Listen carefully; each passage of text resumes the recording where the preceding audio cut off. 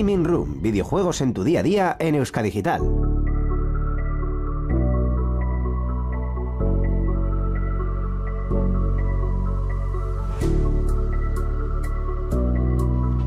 Muy buenas gamers, encended vuestras consolas, ordenadores y todo tipo de dispositivos porque una vez más hemos vuelto al ruedo, así que todos a jugar. Tú sabes. eh, Esta radio está siendo una puta coña, no, no, pero tú- tú- constante. Tú, sabes, Gaiska, porque yo tenía un podcast que se llamaba Las charlas del CUE, ¿verdad? Porque había charlas de un tal Cue. Precisamente por esto que acaba de pasar, porque en el vídeo se ha visto claramente que estábamos hablando de algo Sí. que, que no ha salido Y de hemos empezado descojonándonos el programa en, expres- en, es- en especial José Andrés Guerrero, que ahora mismo no puede contener su risa. Buenas tardes, José Andrés Guerrero. Y es que estaba completamente absorto en la conversación y de repente escucho una cosa al final que, Sí. que me, ha dejado, me ha dejado impactado. Me, me- me- me empezó- No, no, Impactado te ha dejado. Te ha dejado No impactado. no lo reproduzcas. Qué locura. Pero sí, precisamente eso ha sido un ejemplo de, Sí. de- de las charlas del Sí, CUE. sí, sí, sí. El podcast que está en, en el congelador, básicamente. Por lo menos. Eh, si queréis, de hecho, no perderos estas risas, estas cosas tan extrañas que nos ocurren, podéis ver el vídeo que estará en YouTube, básicamente. Sí, pero que no se oye nada, así que. Pero que no se oye nada. O sea, quiero decir, podéis ver las reacciones, no podéis escuchar el por qué se dan esas reacciones. Buenas tardes, José Andrés. Buenas tardes. Muy buenas tardes. ¿Cuántas ¿Cómo, veces le vas a cómo nos encontramos? Le- hoy? le es la segunda, Íñigo, no te quejes tanto. De verdad, no, Venga. te quejes, no es para tanto. ¿Qué tal estás? Nada, de chill, la verdad. De chill. Las cadenas te hacen daño también, están ajustadas, están apretadas. ¿Eh? ¿Eh? ¿Eh? ¿Eh? No sé qué me habla. Íñigo, Eh, yo ya. has, has hablado demasiado, pero da igual, te tengo que presentar. Íñigo Sandino, No, Arracha. espero que este programa vaya cogiendo su cauce, que confío en que lo cogerá, porque, en fin, con todo lo que tenemos. mm, Íñigo, esto es Gaming Room. ¿Qué cauce? ¿Qué cauce? ¿Qué cauce? ver, Como razón, concepto. razón no le falta. O sea, que las cosas como verdad, son, las cosas como son. Bueno, eh, hay una cosa muy graciosa y es que yo desde prácticamente temporada 1 llevo teniendo aquí en el guion un saludar a viewers y nunca saludo a los viewers. Siempre No. saludo a vosotros, pero nunca a los viewers. Eso es verdad. Viewers y, y oyentes y gente como concepto que esté escuchándome hablar. Buenas tardes. Buenas tardes para nosotros. Buenas tardes, ¿qué tal? Buenas ¿Habéis- tardes. ¿Habéis descansado? ¿Qué tal el domingo? Nos podéis escribir a Gaming Room por Twitter, nos podéis mencionar y decirnos qué tal os ha ido vuestra Twitter, ¿Qué semana. es eso, Twitter? ¿Eh? ¿Qué es eso? Querrás decir X. No, Ex. no. Ex. Las cosas del Elon Musk. En fin, eh, cosas, cosas curiosas. Tenemos contenido para rato, así que vamos Sí. a dejarnos de gilipolleces. Suficiente presentación ya. Borja, dale. ¿Seguro? Sí, ¿Seguro? sí, ¿Seguro? sí, ¿Seguro? sí. Hoy en Gaming Room. Comentaremos las últimas noticias, incluyendo el lanzamiento de Spider-Man 2, la definitiva, por fin, compra de Activision Blizzard por parte de Microsoft y el futuro lanzamiento de X Defiant. También hablaremos sobre Super Mario Bros. Wonder, los nuevos modelos del Play 5 y las fake news acerca de la guerra entre Israel y Palestina relacionadas con el videojuego bélico Arma 3. Correcto. Y por último, Miguel nos traerá Yo contra el barrio, la guía de los beatemaps de Hardcore Gaming 101 y David Bernard nos hablará sobre La plataforma de estadísticas para jugadores amateur de League of Legends. Comenzamos. Contacta con nosotros por email en la dirección gamingroom.euskadigital.eus, en nuestra página web gamingroom.euskadigital.eus y mediante Twitter escribiendo al usuario gamingroom. También nos puedes escuchar en iVoox, Spotify, Apple Podcast y Google Podcast.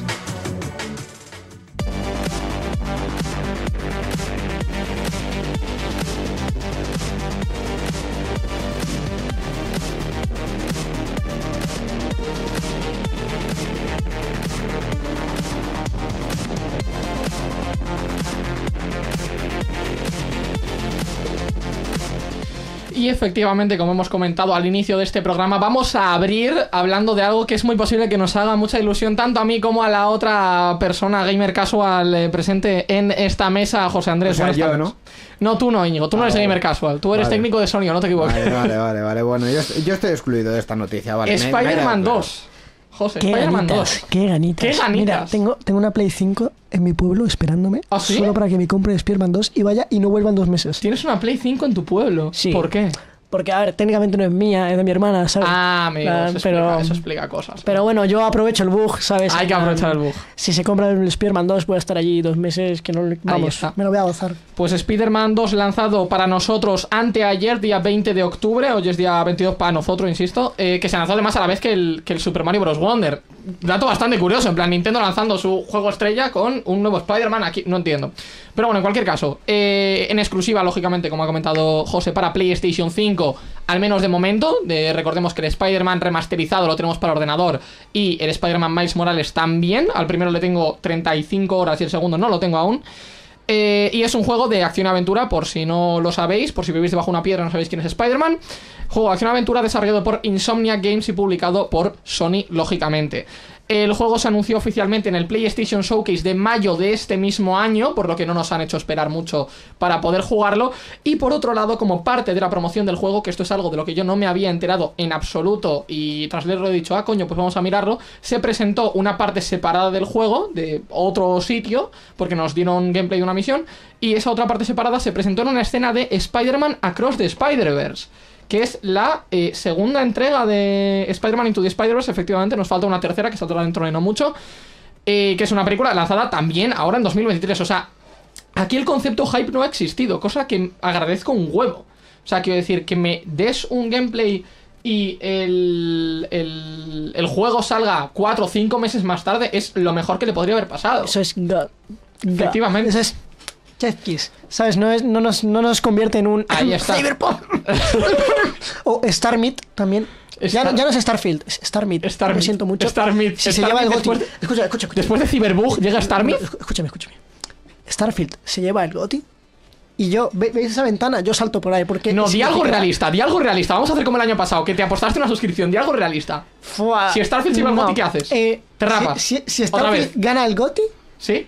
Es que, es que como se lo es que te lo juro, voy, a Si salir a la calle con un machete. GOTY, ¿qué hacemos? Si Joder. Starfield gana el GOTY, ¿Sí? Carmona se rapa. Eh, cabrón, eso no vale. No, no, Carmona se rapa. Recordadlo. Si lo cumple, fin. dono 20 euros. Esa es la otra. Eh, estamos viendo ahora mismo en, pantalla, de hecho, para los que estáis viendo el vídeo, eh, parte del gameplay del, del nuevo Spider-Man. Y es una cosa muy graciosa que os habéis dado, os habréis dado cuenta, si habéis jugado los Spider-Man previos, que aquí la movilidad está mucho más trabajada, te mueves mucho más rápido y tienes muchas más mecánicas para poder precisamente moverte más rápido. Y me diréis, ¿Por qué? Porque el mapa es más grande. Eh, ¿Cómo de más grande? Pues la lógica está en que antes lo que teníamos era únicamente eh, Manhattan. La isla de Manhattan. es. Manhattan, ahora, ahora han desbloqueado Queens. Y ahora tenemos Brooklyn y Queens. Eso es. Así que claro, eh, a mayor mapa también necesitamos mayor movimiento. Eh, como hemos comentado antes, se trata de la secuela del Marvel's Spider-Man, lanzada en 2018 para PlayStation y posteriormente en ordenador, creo que fue en 2020-2021. Y el Miles Morales lanzado también en 2020, con Peter Parker y Miles Morales como dúo en conflicto con Craven the Hunter y Lizard, incluyendo además la aparición del simbionte Venom, como bien habíamos visto antes también en el gameplay. En el juego encontramos además una mayor variedad de habilidades y modos de combate entre los que se incluyen nuevos dispositivos y trajes que se van desbloqueando según avanza la historia, igual que teníamos en los juegos previos. Eh, de hecho, un dato curioso es que el traje de simbionte en este caso cambia completamente la, juga- la jugabilidad y el combate, porque apare- aparentemente los combos, las habilidades y demás son muy diferentes. El juego se basa, en este caso, una vez más, no ha cambiado la, la fórmula maestra, en completar eh, misiones de la historia principal y coleccionables como misiones secundarias, en este caso permitiendo alternar entre los dos Spider-Man para objetivos dedicados a cada uno. No todas las misiones van a ser para elegir cualquiera de los dos y hacerlas. Hay algunas en las que requeriremos de los dos, hay algunas que requeriremos solo de uno, y algunas en las que requeriremos de uno de los dos. Eh, y luego, aparte, como hemos visto también en el gameplay, que se explica muy bien, los nuevos sistemas de movilidad y acrobacias aéreas se basan bastante en trajes de ardilla, túneles de viento y lo que yo he denominado, porque no tiene nombre, catapulta humana. Que es efectivamente dos palos, telarañas para atrás, suelta. ¿Sabes que esa es tira. una mecánica que pidieron mucho por un juego de Spider-Man de hace bien de tiempo? Si Claro. no me equivoco, el juego de Spider-Man 3. O sea, decir, es que no, no queremos que reinventen la rueda nosotros los fans de este juego. No queremos que reinventen la rueda, queremos lo que han hecho pero mejor. Y de hecho me recuerda mucho esto al caso del Tears of the Kingdom.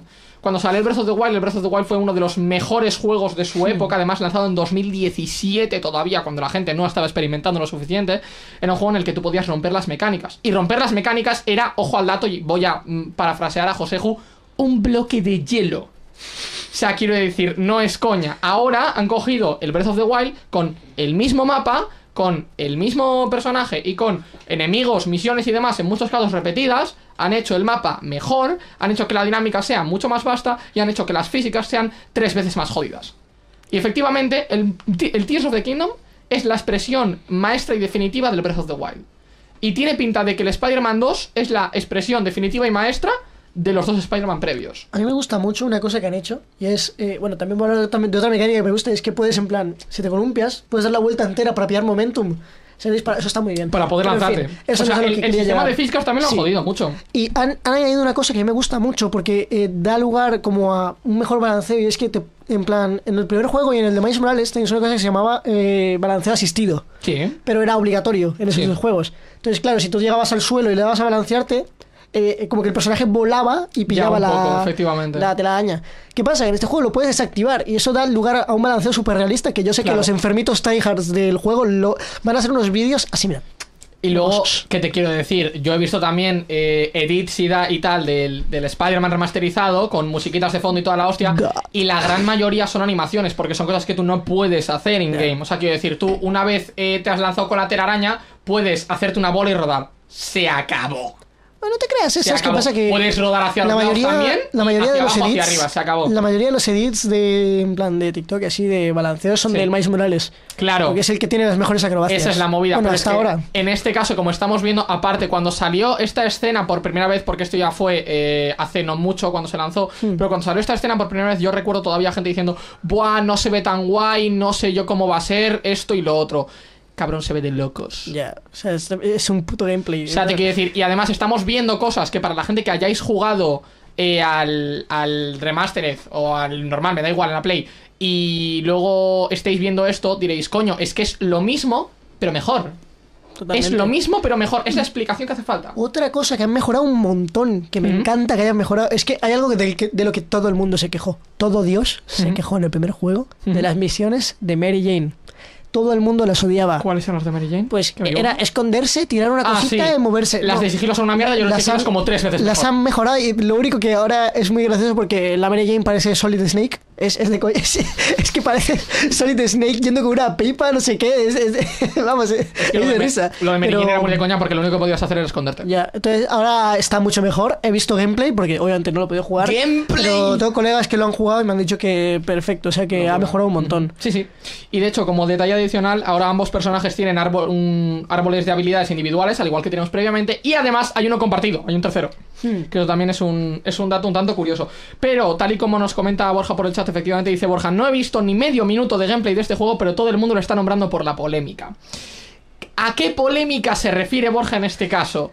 Al lenguaje inclusivo. Al uso del lenguaje inclusivo. Y aquí Ay, es donde entra Íñigo. Sendino. Bueno, aquí voy. Aquí, Aquí es donde entra Íñigo Sendino, efectivamente. ¿Qué, Eh, qué ha pasado, qué ha pasado con la polémica del lenguaje inclusivo? Básicamente- Lo cuento, lo cuento porque lo tengo. Ah, ¿lo sabes? Tengo la información. Ah, bueno, ya está, entonces yo no te voy a hacer una mierda. Salvo que lo hayas puesto en el, en el guion. No, no lo he puesto, no, no lo he pues puesto. tengo la data. El tema es que hay un, eh, un Un personaje eh, que tiene un podcast que le va contando información a, al- A Miles. a- a Miles, eh, y en ese, en ese podcast se hace referencia a una persona que es una persona no binaria. Que es un doctore. Efectivamente. Y que luego además De en hecho- físico se va, no solo el podcast, sino que se va a ese sitio para hacer una misión y hay un, eh, un tío hablando de que el doctore no sé qué o Sí, le sí. doctore no sé qué. De hecho, en, el, en la versión en inglés, eh, esa parte pasa un poco más desa- desapercibida, pero por cómo es el inglés. Porque Claro. Dice, Dices, "The eh, doctor". El doctor no sé qué, y luego dice, they are a very good doctor, yo qué sé, no, no me, me acuerdo del, del este, del, diálogo, del diálogo concreto, concreto, pero lo que se hace es un uso del, eh, de la tercera persona, del singular. What are your O pronouns? sea, del plural como singular. Pues como lo que están haciendo los ingleses y americanos para, está. para el lenguaje eh, no binario, digamos, ¿no? Ajá. Entonces, eh, todo esto ha venido a un tema de que creo que era el Rubius que salía en un vídeo jugando esto. Ha salido Vegeta también y salió más gente. Pero creo que pero creo que el vídeo polémico ha sido el del Rubius que Sí. ponía cara de circunstancia rollo mm, voy a interpretar esto rollo Y luego desactivaba el podcast. al Desactivaba el y podcast. desactivaba el podcast. Eh, ok, tío, o sea, ok. Eh, claro, yo qué sé, eh, esto es polémica. Eh, Es que esto es un poco la misma mierda de siempre. Eh, es que ah, ya me has abierto el cajón de la mierda y yo voy para adelante, ¿no? Esta es la misma mierda de siempre. De que, eh, claro, mm, eh, la gente de este tipo dice, no, pero es que en los juegos no se pueden hacer estas cosas. Vale, mm, po- pongamos en contexto que este juego en concreto tiene a varias personas en su equipo, pues que mm, digamos que están de acuerdo con esta forma de, de hacerlo, o sea, también les vamos a negar a esas personas que se expresen como quieran. Nos llegamos espacios de expresión y cuando hacen un espacio de expresión o, o se lo concede su empresa o lo que sea, también les decimos, no, aquí tampoco te puedes expresar. Pues vete a tomar por culo, chicos. de verdad. De todas maneras- Eh, la- es que la, la- en los videojuegos, es- esto es la misma historia de siempre. Reivindicamos los videojuegos como una forma de creación cultural y de expresión cultural, pero resulta que eh, no dejamos que las personas que, que mm, hacen esos videojuegos se expresen y realmente realicen esa tarea cultural que se supone que les estamos encomendando. Entonces, ¿para qué sirve esto? Si mm, a estos señores pollas viejas lo único que les, que les satisface es su propio lenguaje y su propia forma de ver las cosas, pues mira, yo no tengo eh, culpa del tema. Las cosas son mucho más eh, extendidas. O sea, el mundo es mucho más de lo que ven ellos. Pues, eh, ok, a mí esto me... Quiero decir, a- habiendo hablado de esto, me importa tres cojones. El De juego- locos, de el- locos. el Íñigo después tiene- de dar su charla me importa tres cojones. No, me importa tres cojones en el sentido de que el juego tiene una buenísima pinta. La- El juego se ve de O locos. sea, quiero decir, por, Se ve de por el locos. vídeo que hemos puesto, tiene muy buena pinta. Y la gente que se esté fijando en esto, pues mira, es gente que está eh, desubicada en la vida y que buena suerte, mm, eh, porque la vida va a seguir avanzando a pesar de ellos. Pero te quiero decir, eh, mira, de hecho, vamos a citar a Borja que dice en el chat, el último en la cola para dar el a Rubius, tengo experiencia. Pero aún así, en cualquier caso, a lo que te voy es, vale, eh, ¿te parece bien, te parece divino, te parece estupendo? ¿Crees que la gente tiene que poder expresarse, etc, etc, etc? Magnífico, aquí lo tienes. ¿No te parece bien, no te parece divino, no te parece estupendo? Mira lo desactivas, ya está. Sí, O sea pero que, no, eh, hagas, no hagas el idiota. No, en- claro, el problema es que el problema es que es un personaje público, el problema es que es un personaje Claro. público, entonces se le ve. Pero quiero decir, si tú en tu casa no estás de acuerdo con esto por motivos de la vida y dices, vale, no quiero escuchar esto, tienes un botón de desactivar el podcast y ya está. Y sigue disfrutando del juego. El problema es que la gente se ha puesto en Twitter 60 pavos que me ahorro. Gracias. No. Pues. Cabrón, el juego es No, un no, juegazo y te vas a pues- perder un juegazo pues- porque eres gilipollas. No, No, no, pero efectivamente. No. Pero 60 pavos que te ahorras, ole por ti, me parece de puta madre. El resto iremos a comprarlo o no, cada uno lo que le salga de sus genitales varios y a tomar por saco. Pero mm, eh, si eres imbécil, yo no tengo que aguantar en Twitter que tú digas imbecilidades, por eso te bloqueo y hasta ¿Twitter o X? Eh, Twitter. Lo que sea. lo ¿Estáis que de, acuerdo, sea. ¿Estáis de acuerdo o no con el lenguaje inclusivo? Algo a tener en cuenta es que este juego es un putísimo juegazo. Probadlo y lo descubriréis y, y ya está. Es que no hace falta darle más vueltas, es así de sencillo. Un diálogo no puede hacer, lo siento, un diálogo no puede hacer que decidas comprarte un juego o no. O dos o tres diálogos, me da igual, es un juego que ahora mismo te dura 40 horas. O sea que no. Pues ya está. Gaiska ha hablado y con esto tenemos suficiente.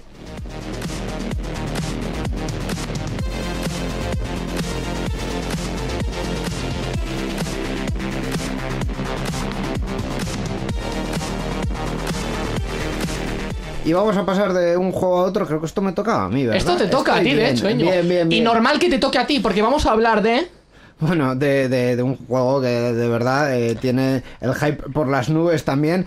José, ¿de qué Eh, juego estamos hablando, José? De Mario en setas, pero setas de verdad. De las que venden en. Ámsterdam. Sí, sí, sí, sí, sí y sí Eh, otra vez. Sí, Mario correcto. mezclando un poco de cosas, ¿no? En, en este juego.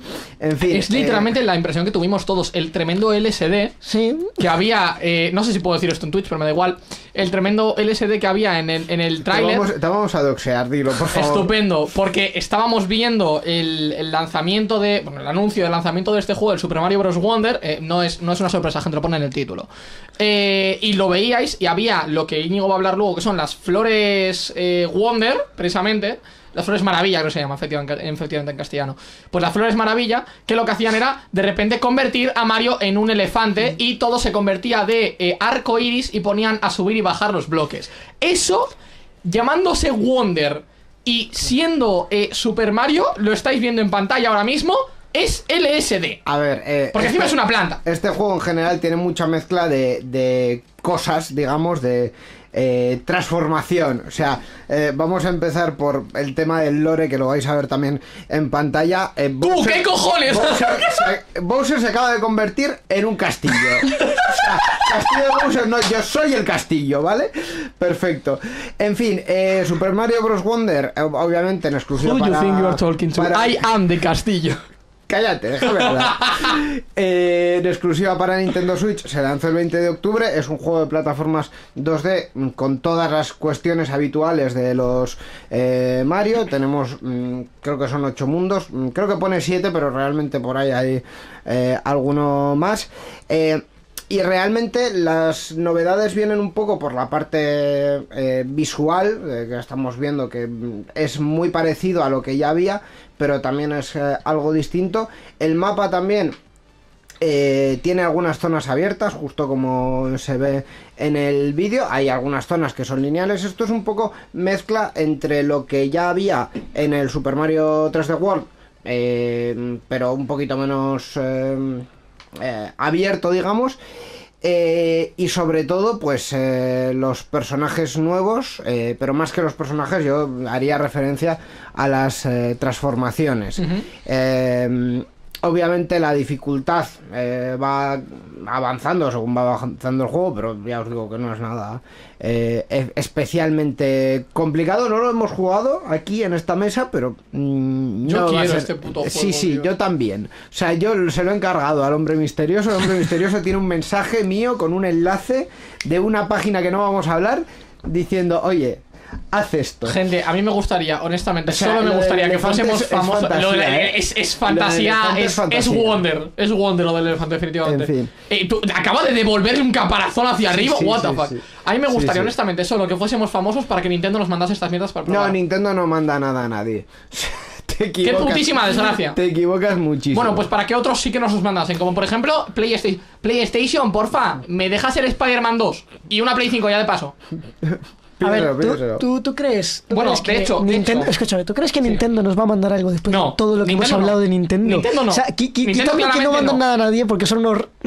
eh, Bueno, si haces eso, menos cosas nos van a mandar a. pero es que ya lo hemos hecho todo el programa y toda la temporada y la temporada anterior. Sí, yo recuerdo un programa en el que estuve 20 minutos hablando mal de Nintendo. Sí, es que lo recuerdo Es perfectamente. que de verdad, increíble. Sí, Sí, en, en un programa incitamos a No, que, no. a que la gente, eh, digo, no incitamos, no incitamos a que la gente fuese a páginas raras, ¿sabes? A hacer cosas de Nintendo. Desde Euska Digital no fomentamos la piratería. De vergüenza. De vergüenza. De hecho, he de decirte una cosa como dato curioso y es que yo que vengo aquí a pedir una PlayStation eh, 5 a Sony, debería pediros la PlayStation 5 a vosotros. Y es que hasta final de Espera, espera, octubre, espera, espera, espera. tú acabo de hilarlo, No, no, pero, acabas- ah, no, estás abriendo un melón que yo no he terminado con mi noticia. pero déjame terminar de hacer esto, espérate. No, pero vamos- espérate. vamos- Estamos en una pequeña pausa publicitaria, por favor. Sí, de hablar de Sí. esto y ahora te pongo la cámara entera y te Venga, vale, venga, publicidad. Vale. En fin. Tú eh, lo estaba hilando de loco, Siño, me sí, cago en la puta. La verdad que sí, pero no. Eh, quiero decir, ya para. Mario Gordo. Ya para terminar. Joder. Ya para terminar el, el tema. Eh, cosas eh, que se mantienen y cosas nuevas. Aparte de lo que estáis viendo en el vídeo. Cosas que se mantienen. El cooperativo local de hasta eh, cuatro jugadores. Cooperativo online no hay. Y eh, Qué cosas, desgracia. cosas nuevas. eh, en el cooperativo local los jugadores no colisionan. ¿Vale? A Sí. partir de ahora pueden ir cada uno. Ya no puedes su trolear a tu hermano. Y no puedes mm, mandar a tomar por saco a nadie. Así que, eh, en fin, todas las críticas que hemos leído por ahí han sido muy buenas, Sí. muy buenas. Así que mm, eh, la recomendación es mm, vayan y cómprenlo. O sea, quiero decir, para echarle 70 euros a Nintendo a la cara no hace falta ninguna excusa, pero esta es, Es, una muy excusa. buena, Es muy buena efectivamente. Bueno, sí que hace falta excusa para echarle 70 euros a Nintendo a la cara como concepto. Pasa que a Íñigo no le hace falta excusa, vamos a, vamos a poner eso. Pero quiero decir que Nintendo te cobre lo que te cobra por este juego, sí, es respetable. De hecho, creo que de lanzamiento lo había encontrado a 55 pavos, cosa que no está nada mal. Así yo, que. yo lo he visto a ver, a- yo lo he llegado a ver hasta voy a aprender a hablar ¿vale? Sí, mejor. yo lo he llegado a ver hasta por 32 32 euros. Sí. Dime Buah. dónde porque me lo compro. bueno Buah, luego escúchame, escúchame, eso es un regalo. Y hablando de regalos, Y hablando de regalos, Ah, hemos mencionado antes. ah, hemos bueno, mencionado bueno, antes. Ahí está. Aplauso, aplauso a José Andrés, aplauso a José Andrés. No se ve. ahí. Hemos mencionado antes la Play 5, efectivamente. O sea, quiero decir, si Sony, a una, si Sony me manda una Play 5 para poder testearla, lo agradecería en el alma. PlayStation España, hazlo por favor. Eh, si no lo haces también lo entiendo, pero bueno. Pero en lugar de pedirle la PlayStation 5 a eh, Sony o a PlayStation o a PlayStation España, debería pedirosla vosotros, jugadores. ¿Por qué? ¿Por qué? Porque hasta finales de octubre, por ende, eh, tenéis todavía tiempo desde que escuchéis este programa, pero no lo dejéis mucho porque se os va. Hasta finales de octubre podéis votar en el enlace fijado en el X de Gaming Room. Podéis votar por este podcast y por mí en concreto, pack de dos, eh, como eh, premios a, los premios del público de los premios al Podgaming de 2023, de este año que los organiza David, con el que vamos a hablar después, efectivamente. No sobre los premios, pero sí que vamos a hablar con él después. Eh, podéis votar por nosotros y por mí en pack de dos. Y si ganamos, nos llevamos una Play 5. O sea, no es not even a fucking joke. Así que queréis verme manquear y queréis ver a José manquear en la Play 5 y queréis vernos chillar como putos críos pequeños con el Manquear a mí. Spider-Man 2. Manquear a mí. Depende de lo que te ponga delante. Por favor. Eh, ¿Queréis vernos disfrutar como putos críos pequeños eh, con el Spider-Man 2? Porfis, please, eh, votadme y votadnos. Por fish, please. Porfis, please, votadme y votadnos. Madre mía. Y, y en eso se basa todo. Así que podéis, corred ahora mismo en este preciso instante, si estáis escuchando esto antes de noviembre, eh, a, a nuestro Twitter, twitter twitter.com, sí, es que el, el- Sí. el link sigue siendo Twitter. X.com. Twitter.com barra gaming room barra baja ed, que de hecho el Twitter lo ha dicho antes Borja. Y en el link fijado eh, tenéis un formulario para votar por nosotros. Muchas gracias.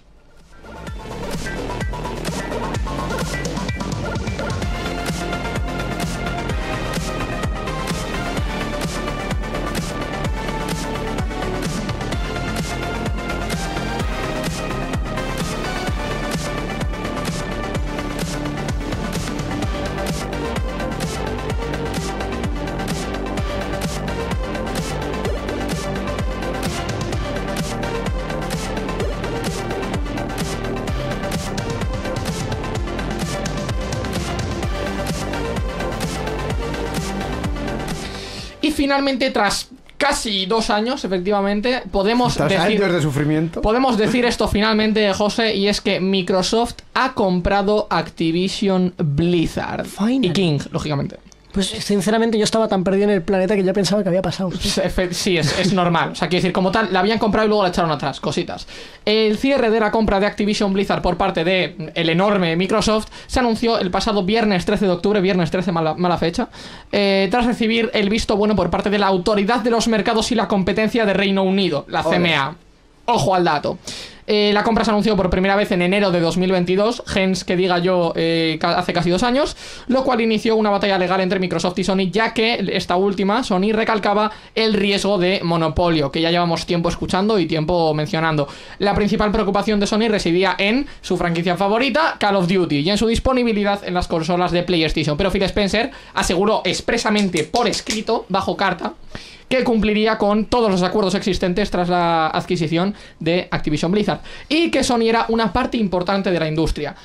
Cuando venís vosotros los gamers de consola a decir, no, Sony es una mierda, PlayStation caca, yo soy fan de Xbox, barra, eh, Xbox es una caca, yo soy fan de PlayStation, Sony Forever, sois gilipollas. O sea, quiero decir, Nada, literalmente nada. ellos mismos se llevan mejor que vosotros. ¿Estáis mal de la cabeza Sí, o algo? sí, sí. No. Todo el mundo sabe que Sony necesita a Mi- a Microsoft y Microsoft necesita a Sony. Más, básicamente porque si solo existiese una empresa, haría lo que le saliese de los huevos. Y eso no es bueno para vosotros, jugadores.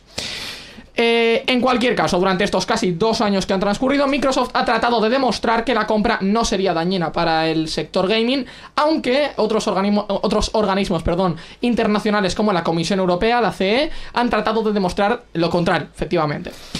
Eh, Eh, a ver, esto es un poco cogido con pinzas, ¿eh? Cogido con pinzas, entre otras cosas porque eh, eh, Xbox ya eh, ha recibido, entre comillas, a Bethesda. Entonces ya son no, son, no son ni una, ni dos, ni tres, ni cuatro, ni cinco, sino Tienen unas cuantas. Las empresas que están concentradas ahí y ya entrando en, en el nivel siguiente de estudios más pequeños y tal, eh, esto es mucha concentración Sí. del, del sector. Ahora bien, claro, ¿cuál es el problema? Eh, en la mayoría de sectores el problema principal es que la mm, mucha segmentación crea competencia muy débil. Sí. Entonces, y os pongo otro ejemplo, que creo que ya lo puse en su momento cuando hablamos la primera vez de esto. Eh, el mercado móvil. En el mercado móvil ha habido muchos operadores pequeños, medianos que han aparecido por ahí. Que se han ¿Operadores de telefonía o de marcas de móviles? de- no, de telefonía. Ah. Operadores de telefonía móvil que se han ido concentrando, en concreto en Más Móvil, vaya, casualidad. Cosas. Eh, pero, Más por- móvil patrocinando. pero porque eh, en- ellos solos no podían eh, seguir eh, mm, evolucionando su negocio. Entonces, claro, el problema es que eh, los mercados pueden llegar a tender a ir al- a la esquina contraria, Ya. a concentrarse mucho y que no haya competencia. Claro. Eh, La competencia es necesaria sí, siempre. Sí, sí, el- la autoridad de la competencia del Reino Unido esto lo ha dado por bueno, pero en fin, eh, vamos a darlo por bueno porque ellos lo Venga. han dado por bueno, pero... ah, ah, ah. Siguiendo un poco con la historia en cuestión, después de que la justicia estadounidense diese luz verde a Microsoft para seguir adelante con la compra, en una transacción valorada eh, en, no es coña, 69 mil millones de dólares, que tras inflación a día de hoy serían 65.570 millones de dólares, No, lógicamente. no, no, no, 65.570 millones de euros. Ah, eso, perdón. Al cambio, es- al es cambio, cam- al cambio, perdón, perdón, cambio, perdón, no perdón, perdón. Aún así. Inflación, me da igual. Eh, la comisión. no, a ver, cambio, cambio de Que sí, moneda, no, euro. no inflación. Euro. La inflación es otra cosa. 65.570 millones de euros. Efectivamente. Al cambio actual, actual, porque claro, esto se hizo hace meses.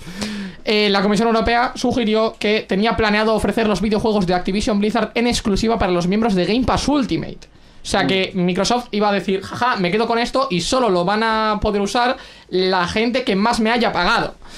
Eh, un poco turbio que mm, se reveló unos días después de que Microsoft firmase de hecho un acuerdo vinculante con Sony en el que aseguraba que Call of Duty se mantendría en PlayStation durante 10 años. De momento, para los eh, fanboys y fangirls de, de Call of Duty que tengáis una Play, no os preocupéis, durante 10 años tenéis Call of Duty. Y para cuando hayan pasado esos 10 años os daréis cuenta de que Call of Duty está en decadencia, así que estamos bien. En cualquier ¿Qué caso... pasa? ¿Estás despechado de tu ex franquicia favorita? Ey, nadie ha dicho que esté despechado de mi ex franquicia de nada. No, no, no, no se le nota resentimiento. ¿Por qué, yo, por qué yo ahora te digo que Call of Duty está en decadencia? Porque Call of Duty, cuando yo jugaba a Call of Duty era GOF. Era GOF, eran los años ahora- dorados de Call of que tú Duty. lo has abandonado, ya no sirve, ¿no? Es que yo lo abandoné porque estaba en caída. O sea, es, es como cuando. El Black Ops es- 3 sigue siendo es- la no, hostia. No, es que, es que esto es como cuando estáis con una piba, la dejáis y decís, no, es que era una puta. No, tío. O sea, esto, esto no funciona así. ¿Qué? Esto no funciona así. Es que menuda guarra. Pues chico, eh, te estabas con ella, por algo El estabas, Black Ops ¿no? 2 es GOF, el Black Ops 3 No, el no, no, no. el Black Ops No, no, 4 fue no. una mierda y No los nuevos Call of Duties, a pesar de que están empezando a subir, eh, No, han hecho no, unas no. cagadas Gaiska, de, no, de cajón. no me sirve que te dediques a rajar de tu ex franquicia Sí, favorita. sí, sí No que lo voy a hacer, permitir. sí que lo voy a hacer. Call of Duty tiene sentimientos, ¿vale? Tiene sentimientos y los tienes que respetar. A En ver, cualquier ¿Se va a caso. limpiar las lágrimas con dinero?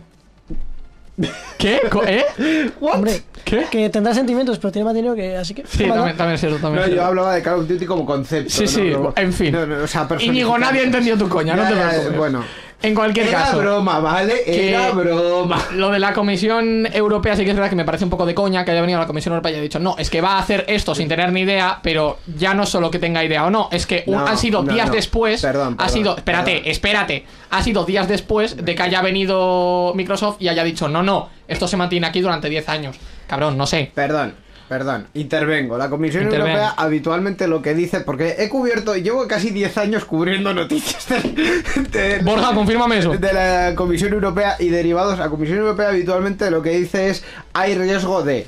Y Ah, cuando hay riesgo de, luego, Zein da probabilitatea?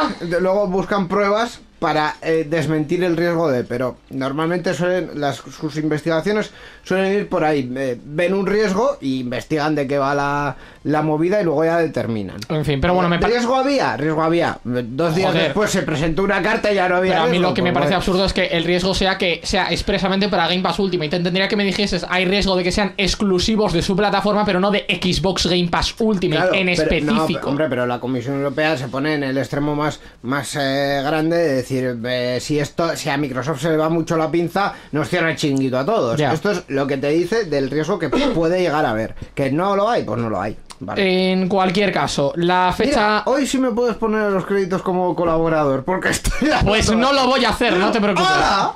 Pues me enfado. Eh, en cualquier caso, la fecha límite inicial del cierre del acuerdo era el 18 de julio, pero el día 19 se acordó prorrogar el, el cierre del mismo hasta el 18 de octubre. Finalmente ha sido un poco antes. Pero oye, que tampoco es muy, muy turbio. Y durante esta prórroga, Microsoft llevó a cabo efectivamente un nuevo acuerdo financiero que se ha basado en ceder los eh, ceder a Ubisoft perdón, los derechos para el juego en la nube de los títulos de Activision Blizzard. Una decisión con la que se aseguraba que el resto de plataformas pudieran seguir accediendo a los juegos y que facilitó que efectivamente la CMA aprobara finalmente la adquisición, motivo por el que se ha llevado a cabo. Porque todo lo que había de noticias, motivo por el que no hemos hablado antes de esto, era la CMA ha dicho que no, pero Microsoft dice que sí, pero la CMA ha dicho que no, pero Microsoft ha dicho que sí, pero la CMA ha dicho que no. No os voy a tener una noticia en cada programa diciendo la CMA ha dicho que no. Eh, y con la venta de los derechos de transmisión a la firma francesa, efectivamente se garantiza que Microsoft no pueda tener un dominio absoluto sobre el mercado y en específico sobre Activision Blizzard. Eh, Microsoft planea aún así que los juegos de Activision Blizzard y de King comiencen a aparecer en sus servicios de streaming, Game Pass, a lo largo de 2024. Han dicho que de momento este, en este, lo que queda de nuestro 2023, eh, poca hostia, porque no les da la puta vida. Entonces que irán, apa- irán apareciendo a lo largo de 2024. Yo espero que algo tengan por lo menos para Q1. Q1 sí que deberían tener algo. Y eh, también ha firmado Microsoft diferentes acuerdos con Nintendo y con Nvidia, lo cual abrirá una nueva veda, que es que los juegos eh, de Xbox para PC y los desarrollados en específico, sobre todo por Activision Blizzard, aparezcan en GeForce Now. Y eso es un puntazo. Eh, los juegos de la compañía también están disponibles en Ubisoft Plus como parte del acuerdo de cesión de los derechos de los juegos en la nube. Me parece un punto. De hecho, mencionábamos antes del programa eh, que en- to- creo que todavía no estaba en Game Pass. No sé cómo va a terminar al final la historia, pero que todavía no estaba en Game Pass, pero que en los archivos de Game Pass, como tal, en el código fuente, Hmm. estaba ya el Black Ops 2. Eso es verdad. sí. El Black Ops 2. No sé cómo lo van a regular, porque ahora mismo el Black Ops 2 está lleno de hackers. A ver, yo creo que si, lo meten en el Game Pass, lo que harán será mejorar los servidores y Espero. poner un anti-cheat o algo, porque si no, vamos. Eh, no va Locura, a ser muy pero bonito. Va a ser como el, el CSGO sin pago. ¡Hostias! Eso Sí, es horrible. Sí, el CSGO sí, sin pago es empieza partida, mueres. Jugué hace meses con un compa el 2 para 2 e Y conmigo. injugable. Injugable, no, pero antes de eso, jugué con un, con un compa un 2 para 2 injugable. Es imposible. Injugable, pero de coña. Eh, pero sí que me, me haría mucha ilusión. Yo tengo el Black Ops 3, de hecho, ya, como hemos comentado antes, para Play 4. Y tengo el Black Ops 4 también, que lo pillé para probarlo. Eh, no, no, gente, no. No está balanceado. Pero el Black Ops 3 es un juegazo, el Black Ops 2 lo es más. Hostia, me haría mucha ilusión ver sobre todo juegos antiguos, porque los nuevos, bueno, tío, todavía, ok, para echarles un try, porque no voy a pagar 75 euros por el nuevo Call of Duty. Pero, coño, es que está, está fuerte, está potente. Le tengo, le tengo muchas ganas, y sobre todo para ver también el resto de títulos. No sé muy bien tampoco qué van a hacer con el WoW, porque eso es una movida. Le, le van a quitar el modo, el modo pago A eso mensual, es lo que te iba. El Es- WoW es un, tiene un sistema Sí. de suscripción mensual, que es como lo que tiene Trackmania, salvo que el WoW no tiene modo gratis, y el Trackmania sí. Pero... Pero van a meter un pase de batalla ahora. Y temporadas y cosas así. No, pero el Battle Pass te lo compra porque es un sistema que está se está implementado en prácticamente todos los juegos y que está funcionando porque Fucking quieres, Fortnite. Fucking Fortnite. quieres, quieres Fortnite. pagar bien, no quieres pagar, no pagues. También te digo que prefiero sistemas como el de Fortnite Hombre, ya. porque efectivamente el Battle Pass no te da ventajas. Hay juegos en los que... Bueno, pero WoW. Eh, esa es la movida. Si me compro una montura torrota, Ya. Puede ser gracioso. O sea, quiero decir, yo te invito a que cojas y te crees una nueva Y bueno, cuenta también de... te digo, el Battle Pass, por ejemplo, de Clash Royale, de Clash of Clans. A eso es a lo que te voy. Yo te invito a que vengas al Clash Royale, tal cual, el Clash Royale, te crees una cuenta nueva, le metas 50 euros al juego, vas a destrozar lo que tengas delante. Da igual que seas el más malo del mundo. Suda, suda, porque tu príncipe al 15 va a destrozar al mega caballero al 6 del enemigo. Y ni siquiera es coña, os podéis ver la serie que ha hecho Benny de subiendo a 0 a 5000 copas pagando en el Clash Royale. Que te lo da a la mano. En plan, toma, príncipe al 15. Pero las cartas del enemigo están de media al nivel 8. Príncipe al 15. No tiene, no tiene sentido. Literalmente una, una carga a la torre y la torre explota. Literalmente explota, es de, es de risa. Implosiona, o sea, es absurdo. es En absurdo. fin. Pero bueno, que en cualquier caso, quiero ver cómo llevan a cabo ese traspaso de juegos. Microsoft, sobre todo a Game Pass, porque en Xbox no sé muy bien cómo lo van a hacer. Pero sobre todo a, a Game Pass sí que quiero ver cómo, cómo lo van a llevar a cabo, qué va a cambiar del WoW y qué va a cambiar del resto de franquicias. Y a ver si Activision Blizzard por una vez levanta cabeza. Porque si no me equivoco, el CEO también se va.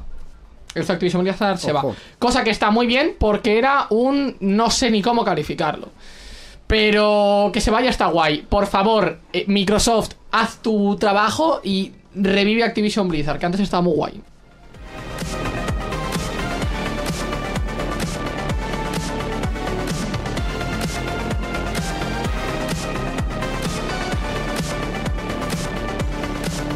Y bueno, ahora vamos a hablar de un tema muy especial, la verdad, es que van a salir los nuevos modelos de la Play 5. Bueno, técnicamente sí.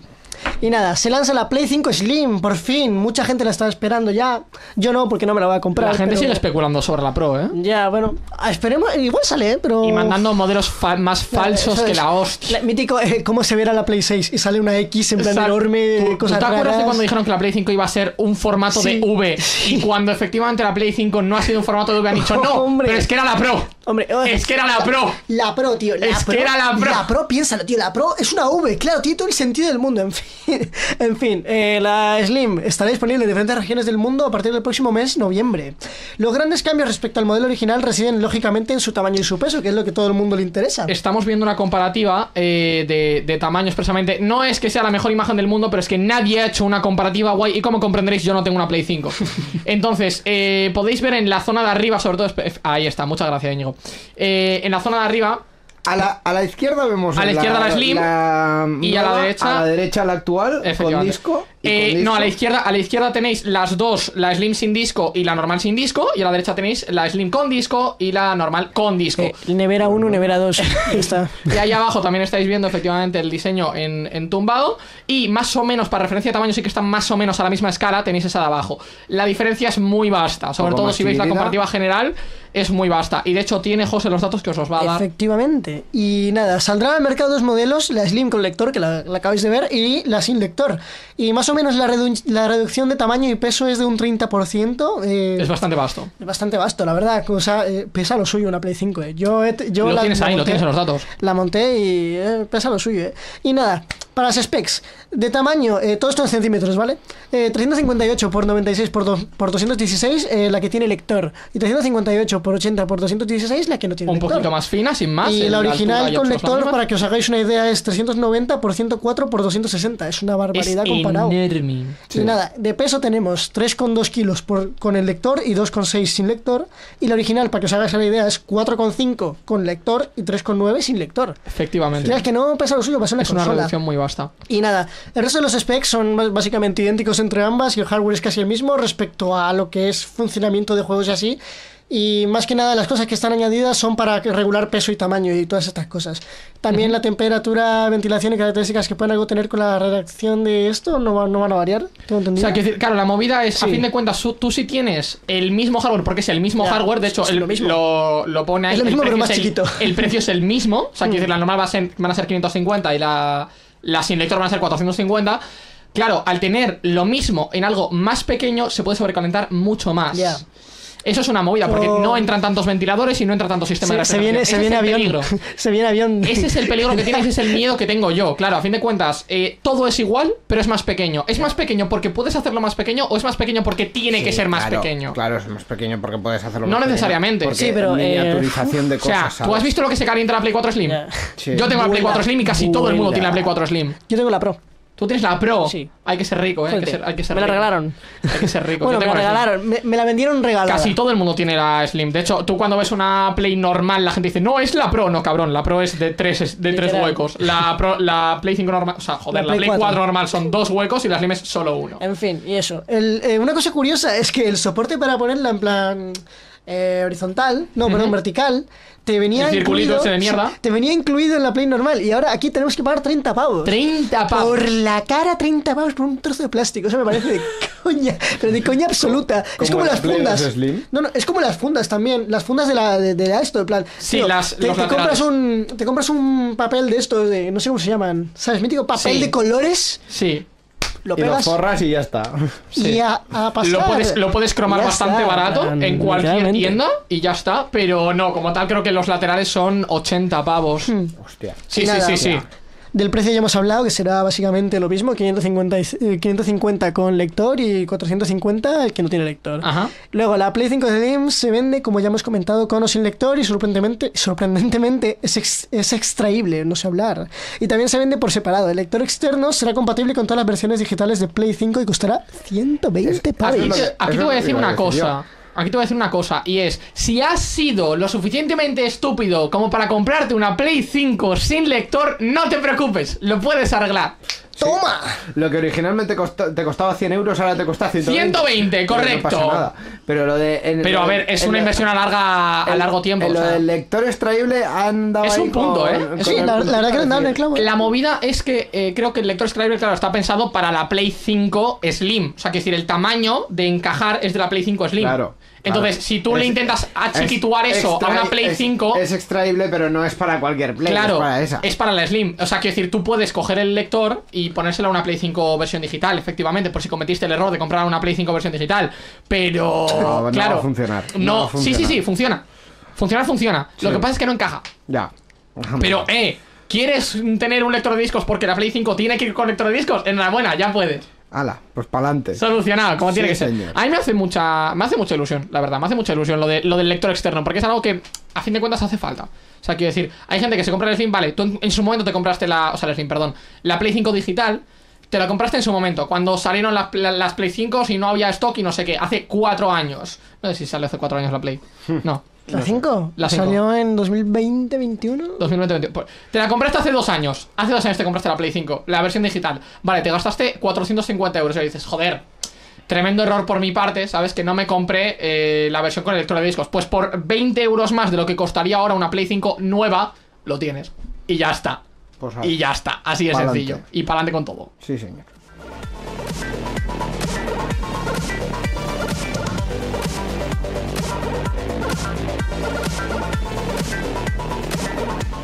Y vamos a seguir comentando brevemente ahora el retraso de Ex Defiant. Suena muy raro el título, me he dado cuenta ahora, pero no pasa nada. Eh, Ex Defiant es el nuevo juego de Ubisoft, un shooter, eh, y que efectivamente han eh, retrasado su lanzamiento por inconsistencias en la experiencia de juego. De hecho, tenemos un comunicado de- del propio Ubisoft eh, comentando, perdón, no sé hablar, el por qué lo han retrasado y demás. Solo hay un problema con esto y es que no tenemos nueva fecha. El título en cuestión, perteneciente a la franquicia de Tom Clancy, se presentó en julio de 2021. Julio de 2021, dos años. Y comentó que se trataba de un first person shooter que llegaría a Xbox, PlayStation y PC. El juego incluye personajes personalizables distribuidos en facciones, con diferentes armas, diferentes habilidades y accesorios de todo tipo. Además de tener también modos lineares y arenas que enfrentan a jugadores en equipos de 6. La distribuidora francesa tenía la intención de lanzar el juego este verano, pero se vio obligada a aplazarlo porque Microsoft y Sony comentaron que el juego tenía problemas en su certificación. Y el problema es que efectivamente, de momento, no tenemos nueva fecha de lanzamiento. Las diferencias cuáles son? Muy sencillas. Tú aquí tienes el Ex Defiant, que de hecho yo he jugado ya a una beta, no, he jugado a dos betas, pero betas creo que he tenido tres o cuatro, este juego. eh, cerradas y abiertas, da igual, con drops de Twitch y todo. Pero, pero, efectivamente se anunció en 2021, creo que la primera beta abierta fue de abril del año siguiente. Y aún así aquí estamos, con las manos vacías. Entonces, la movida, tienes este juego que mm, se anunció hace dos años, que se tendría que haber lanzado hace no mucho, pero que no, es que tiene problemas y sigue teniendo problemas. Y luego tienes el Spider-Man 2, que se ha anunciado en abril y se ha lanzado ya. Diferencias, o sea, literalmente diferencias. Es un juego al que le tengo muchas ganas, porque es un FPS gratuito y puede eh, volver a llevarme a aquellas épocas de First Person Shooter y sobre todo con agentes y habilidades y tal, rollo Rainbow Six. Un clásico, a ver, no es, no es el Rainbow Six porque el concepto sigilo aquí no existe mucho, las cosas como son. Pero, tío, o sea, quiero decir, háztelo mirar, Ubisoft, háztelo mirar, de verdad. O sea, llevas dos años desarrollando un shooter FPS, como si fuese la panacea del mundo y algo nuevo. No lo es. Lanza tu juego, coño, que tenemos ganas de jugarlo. Es, es una movida. ¿Has probado el ex de Defiant tú, José? Para nada. No. ¿Y has probado, que me acabo de acordar ahora? Bueno, no me acuerdo. Ah, sí, el de Finals. Ese sí. El de Finals lo has probado. ¿Qué te parece? No es mi tipo de juego, la No verdad. es tu tipo de juego. ¿Por qué? No soy muy de este estilo, yo soy más de... Es que yo soy un poco... Tú eres lolero. eh, no, o sea, sí, me gusta mucho el LOL y los MOBAs y así, pero yo soy más de... mm, ¿Cómo decirlo? Ah, no sabría decirte. Rollo... Es que tengo un gusto como súper específico, o sea, en plan, me gustan Ajá. tanto juegos de peleas Sí, como MOBAs, sí, como juegos en plan survival y así, sí. y de ahí no salgo. Ah, y, bueno. y luego juegos en plan, no sé, rollo Spider-Man, GTA y así, me encantan. Juegos de aventura y tal, pero de shooters no vas. Shooter Ah, para nada. Yo un Call of Duty lo odio. Yo odio el Call of Duty, el Battlefield y todo, eso lo odio. En plan, Yo no puedo jugarlo. No yo estoy gusta. descubriendo ahora los juegos de, de aventura y de historia. O sea, quiero decir, yo era un tipo de persona de necesito acción, ¿sabes? Necesito shooter. Ese, es- ese es el problema por el que yo en ese momento no sabía jugar al LOL y no sabía jugar tampoco al, al Rainbow Six y juegos de estos. Sí, Ni al Valorant, ni esto. ¿Por qué? Porque yo el- la idea que tenía siempre y la idea que he tenido siempre desde que empecé a jugar al Call of Duty, efectivamente, de los shooters, era corre, deslízate, mata, corre, deslízate, mata. Entonces, Nah, claro, en juegos gusta. en los que tienes que shiftear, ir con cuidado, con silencio, no sé qué tal, esto, el sigilo y demás, yo no lo llevaba. Y en el LoL lo mismo, porque me intentaba meter muy a pecho y a lo mejor no consigues tu primera baja o asistencia hasta minuto 8. Ya. Entonces, claro, era una movida.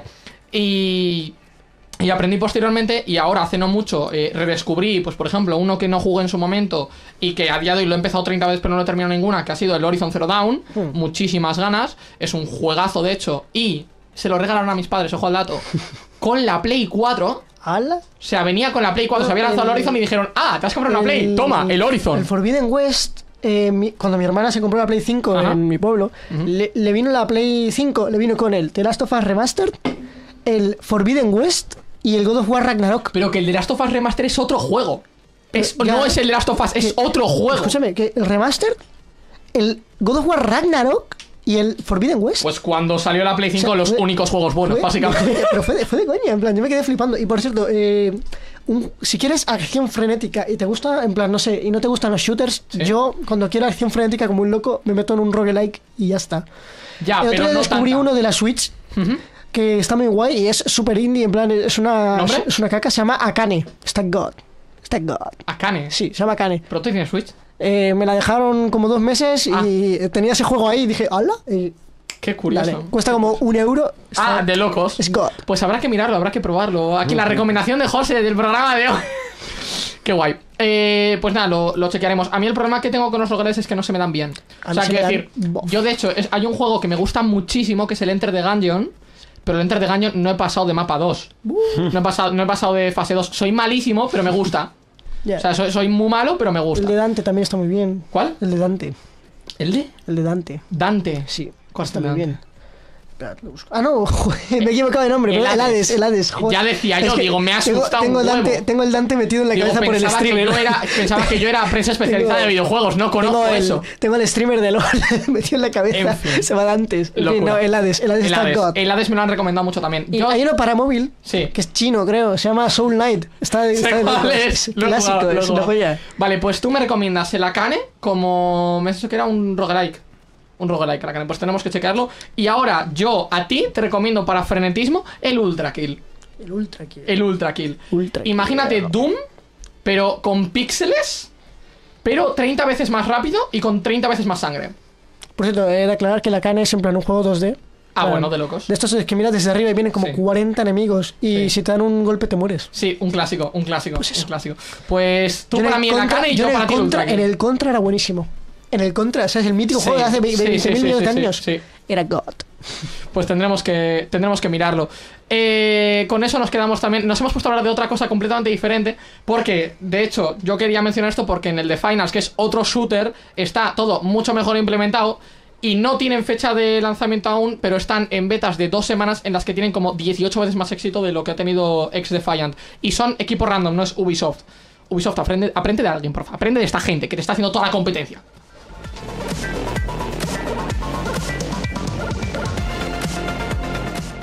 Y bueno, como siguiente noticia tenemos una eh, que me han reservado especialmente para mí, no sé por qué. O sea, es como que pillas a un drogadicto en la calle, ¿vale? Que el tío está así, en plan... Y, le dices, oye, ¿qué, qué quieres metanfetamina? Y obviamente, obviamente, como drogadicto que es, te va a decir que sí, ¿sabes? En plan... Y diréis, ¿de qué me estás hablando? Sí, eso es lo que yo estaba pensando. A ver, En plan, José Andrés, ¿estás bien? ¿Necesitas ayuda? Sí, necesita ayuda, eso está es claro. que tú imagínate a un, a un pequeño sernazo viniendo aquí y le dicen, oye, ¿quieres hablar de los Worlds del League of Legends? Y, y en plan, Si yo soy un director todo benevolente, ¿qué cojones me estáis contando?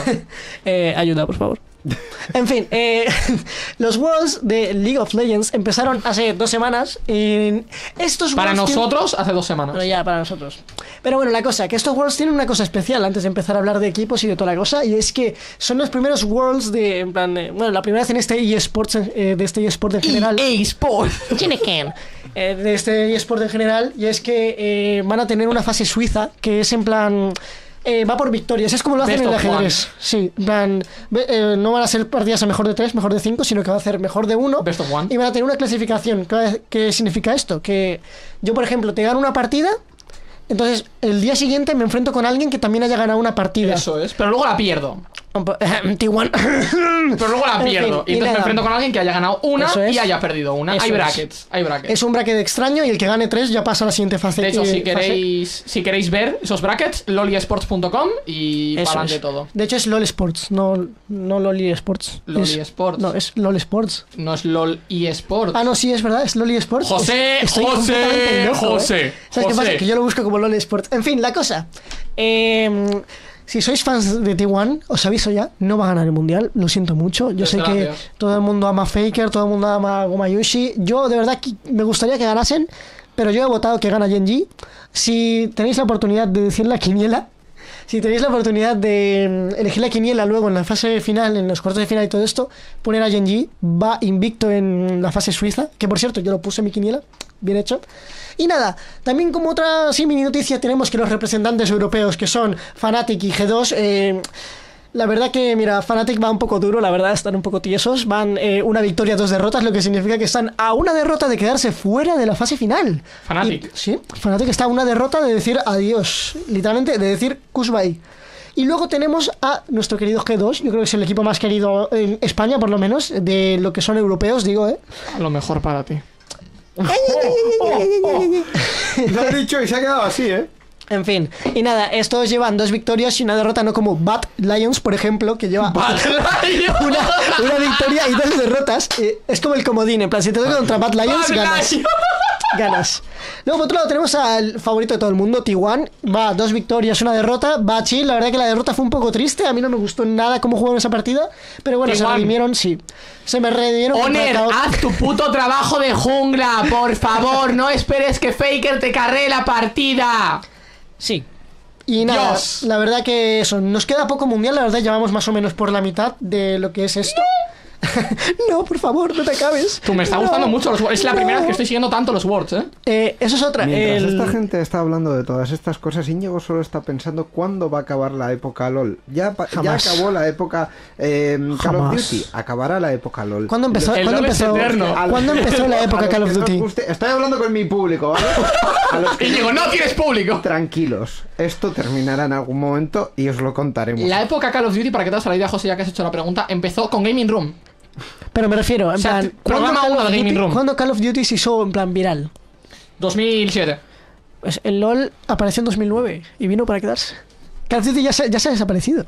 Call of Duty ya no, ya a nadie le importa, tío. En plan, A nadie le importa, tío. Íñigo, hemos cambiado una droga por otra droga. Sí, ya está. En fin, para los que queráis saberlo, en la final del mundial va a ser el 19 de noviembre. eh, se juega en Corea, por cierto, que no lo he dicho. No te preocupes, Íñigo, tienes adeptos a tu doctrina. Efectivamente. sí, sí, sí, sí. En casa, además. No, o sea, pero, bueno, en- peor. en casa no sé. Sí, sí, No, sí, no, sí. no, me refiero a tu doctrina. Mi- Mira el chat Ah, de Twitch. Tienes adeptos ah, a tu doctrina ah, de, bueno. de gente que odia el LOL. Eh, Sí. En fin, Sí. Yo contigo. Es Eneco, por, por cierto, es Eneco. Me En coño fin. contigo siempre. La vida. Y eso, que la final va a ser el 19 de noviembre. Eh, votar a Genji para ganar el mundial. Porque es, es que, es que están en casa. En plan, Genji está en su terreno, está en Corea, es su casa. Son coreanos, ya con eso ya, ya, ya ganan el mundial. En plan, si eres coreano o chino, ganas. A ti te gustan, a ti te gustan los coreanos porque juegan LOL, a otra gente le gustan los coreanos porque hacen K-pop, no somos lo mismo. Literalmente. Y nada, la verdad que esto es todo por el Mundial de LOL. Eh, probablemente en el siguiente. No, en el siguiente no. El siguiente a ese programa. plan, XD. O sea, el siguiente no el siguiente. eh, El estaré, 75. estaré llorando o siendo feliz porque ha ganado en plan ese que tal. Si gana Genji, No, ¿Qué hace? No, nada, no hago nada, no voy a apostar. Porque sé que. eh, espero que gane SKT, pero sé que va a ganar Genji. O sea, Es como que mi corazón está con SKT, pero mi cerebro está con Genji. Si gana Genji, José se rapa. Que no, no me, va, no me va a rapar. Tú me, o sea, has, tú me has hecho eso, me toca a mí. No. Si gana Genji, No, José porque se esto, rapa. esto es mucho más probable de que eh, es- Starmit. No, es que no. O sea, Starmit no va a ganar el GOTY. O sea, he A dicho ver. algo porque sé que no va, Starmit no va a ganar. Mira, como- es que La te lo juro, gana Starmit y, vo- y voy, y, y voy a los Escúchame. premios a, a destruir todo. La academia de los The Game Awards está muy tonta últimamente. No va a pasar y yo no voy a O sea, rapar que- Genji. existe, Avisaos existe una cosa, existe una cosa llamada Tears of the Kingdom, pero la academia de los The Game Awards está muy tonta últimamente. Y de hecho, este año, en exclusivo y por primera vez, vamos a cubrir los The Game Awards. En Yo no he prometido nada, yo no me dato. voy a rapar. Y nada, pasemos Yo a la tampoco he prometido siguiente nada, lo has hecho tú. Va- vamos con las noticias noticia. rápidas, sí, por favor. Cuando la música quiera. Ahí está. Hoy en las noticias rápidas de Gaming Room. Empezamos con los procesadores de Intel generación 14. Por a vuestros datos, que ya ha salido hace no mucho, no os preocupéis, no os voy a meter la chapaza de hardware, eso vendrá más adelante. Eh, los procesadores de generación 14 tienen el mismo socket que la generación 13 y a su vez que la generación 12, que es el LGA 1700. Lo cual, lo cual significa que si tenéis un procesador de generación 12 o de generación 13, podéis eh, actualizar a uno de generación 14 sin gastaros más pasta, como es el caso de Miquel Carmona, que tiene un i5 de decimosegunda. Eh, por el momento, solo están disponibles en España los modelos de alta gama de cada tipo, y creo que en el resto del mundo también. ¿Qué significa gama alta? Pues el i5 solo está disponible el 14600K y KF, en el i7 solo el 14700K y el i9 solo el 14900K, costando respectivamente 400, 500 y 700 euros. Ole. Y ahora es cuando venís y me hacéis la pregunta, pero Gaiska, ¿me hace falta esto para gaming? No. No os compréis esto para... No. Por favor, dejad de comprar procesadores tipo K para gaming y cosas que no sean i5. Por favor. Suficiente. Bien, más cuestiones. Analog, una compañía de hardware y periféricos, ha anunciado hace escasos días Analog 3D, una reimaginación de la Nintendo 64 con mayores posibilidades de conectividad y salida HDMI que permitirá jugar a los juegos originales de la consola en 4K. Comillas. Comillas. ¿Vale? La consola va a contar con el sistema operativo Analog OS que no va a emular eh, la Nintendo 64, sino que lo que va a hacer es ejecutar eh, imitando los eh, chips eh, originales de la Nintendo 64 mediante un chip, un chip FPGA que es un chip programable, básicamente. Eh, va a ser compatible con los cartuchos de Europa, Estados Unidos y Japón, así que geobloqueo ninguno. También podremos conectar hasta cuatro mandos originales y también mandos Bluetooth y de radiofrecuencia. A pesar de no haber fecha oficial de lanzamiento, sabemos que la consola saldrá al mercado en algún momento de 2024.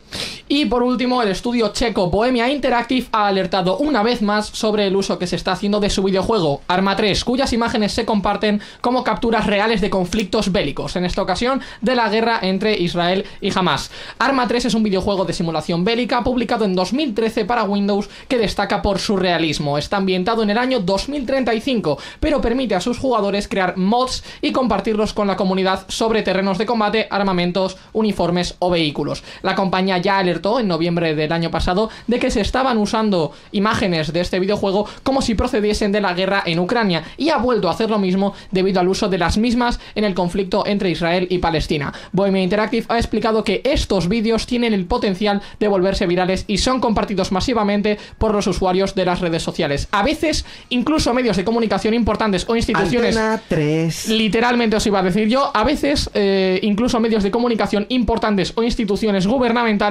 oficiales de todo el mundo. Pues muy bien, y con esto pues terminamos la sección de noticias. Ahora vamos con eh, la recomendación eh, de libros de Miguel y después vamos a hablar con David Bernat, el CEO de Gevist. Así que... Gevist. Gevist. Gevist.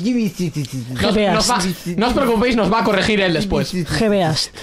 Sí, pues eh, ojalá lo veas. En fin. Eh, continúa, Gaming Room.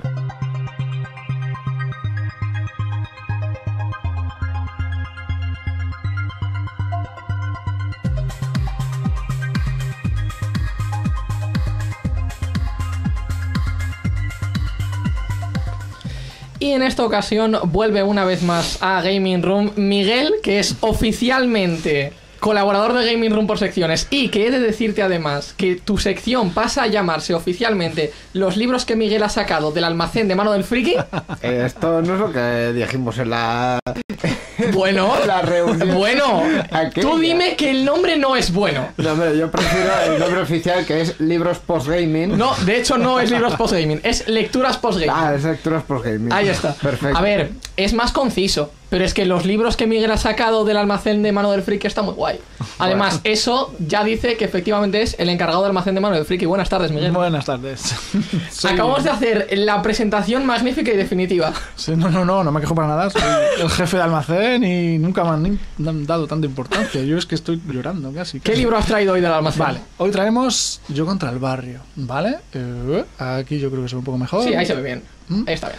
Vale, eh, Yo contra el barrio, subtítulo La guía de los beaten ups. Aquellos que no les va bien el inglés como a mí, todos contra el barrio o yo contra el barrio y ya está. Golpes, mamporros. Los beatemaps es eh, para, para mi madre, básicamente, tipo Street Fighter, tipo ese tipo de, es, de yo jueguitos. De pegarse por la calle. Sí. Double Dragon, Golden. Axe, ese tipo de, de juegos, ¿vale? Eh, cinco duros en el bar, scroll lateral, ir avanzando y matando bichitos y un boss final. Y lo que hemos dicho, gastarse cinco duros en las regres cuando éramos jovencicos. Lo que daría yo por una recreativa hoy en día. Yo, yo no soy de la generación de las recreativas. Por desgracia. Hay muchas empresas que te hacen ahora una recre. O sea, háztela tú también. Soy adulto, pero no tanto. Puedes hacer cualquier cosa con una Raspberry Pi. Necesito una Raspberry. ganas. En fin, avancemos, por favor. Avancemos. ¿Quién ha escrito esto? Vale, eh, Yo contra el barrio mm, es una traducción, ¿vale? Eh, va a ser un poco complicado. El, el autor es Kurt Kalama y según ellos mismos y otros autores, ¿vale? Es un libro, mm, mm, creo que francés, estoy casi seguro. Lo han traído eh, GamePress, es de GamePress, lo ha traído GamePress y lo ha traducido. Y siempre que hacen traducciones desde GamePress, pues siempre hacen añadidos de gente de por aquí. En este caso es José Antonio Moreno, conocido por Evil Ru, eh, José Ángel Ciudad y Carles García. ¿Vale? Yo de los tres, mm, al que más conozco es a Carles. Carles es organizador de Retro Barcelona Ujú. Y bueno, un coleccionista enorme. O sea, cuando os paséis por, por su Twitter, de vez en cuando suelta alguna fotito. Yo sé, por decir el chascarrillo, en Halloween monta un par de mesas en la puerta de casa para que la gente juegue. Entonces es gente que, que sí, que le ha pegado mucho a, a las maquinitas, que también tienen sus añitos, que han metido los cinco duros en el bar.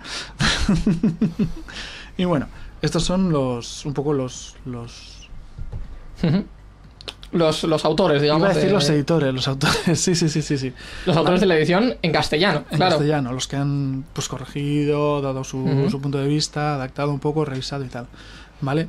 Carles es catalán, claro. Sí. Pero la editorial es catalana. No, Ah. es lo que vamos a hablar. Como dijimos en el otro programa, eh, íbamos a hacer un poquito las, las editoriales más, más importantes de España, las que llevan la coletilla de juegos para. libros Ujú. para libros de videojuegos, ¿vale? Ujú. Esta es GamePress, eh, es madrileña, lleva ya unos cuantos añitos y por lo que destaca es por hacer ediciones, llamémoslo así, bonitas, ¿vale? Hacen ediciones muy chulas y siempre suelen ir acompañadas de, de ediciones especiales. Por ejemplo, esta mm, solo las vende por su web, ¿vale?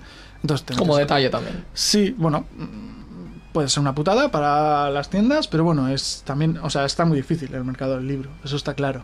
Entonces, para sacar adelante una editorial, si puedes darte el empujón de en el lanzamiento, vender muchos tú en exclusiva, y para venderlos, pues te vales de eso, de una edición especial, pues a mí no me parece tan mal.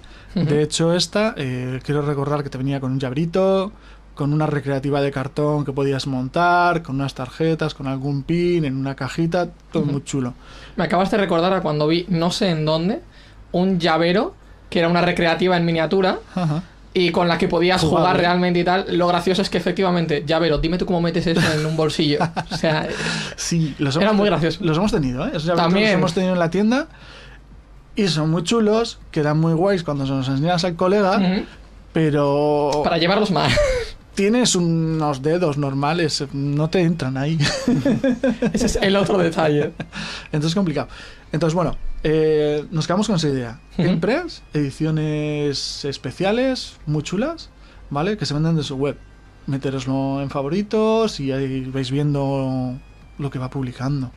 ¿vale? De hecho, creo que ahora las tiene una, cuando estamos grabando esta, que va a salir dentro de poco, que es la, la leyenda de Dragon Quest, ¿vale? Pues te viene con unas cartitas, un marcapáginas. Podéis chequear la web para ver si ha salido ya o no. Eso es. Y, y sin problema. Háblanos del libro. Vale. El libro eh, va ordenado por... Iba a decir editoriales. No, son juegos. Cronológicamente también. No, no, no, por compañías.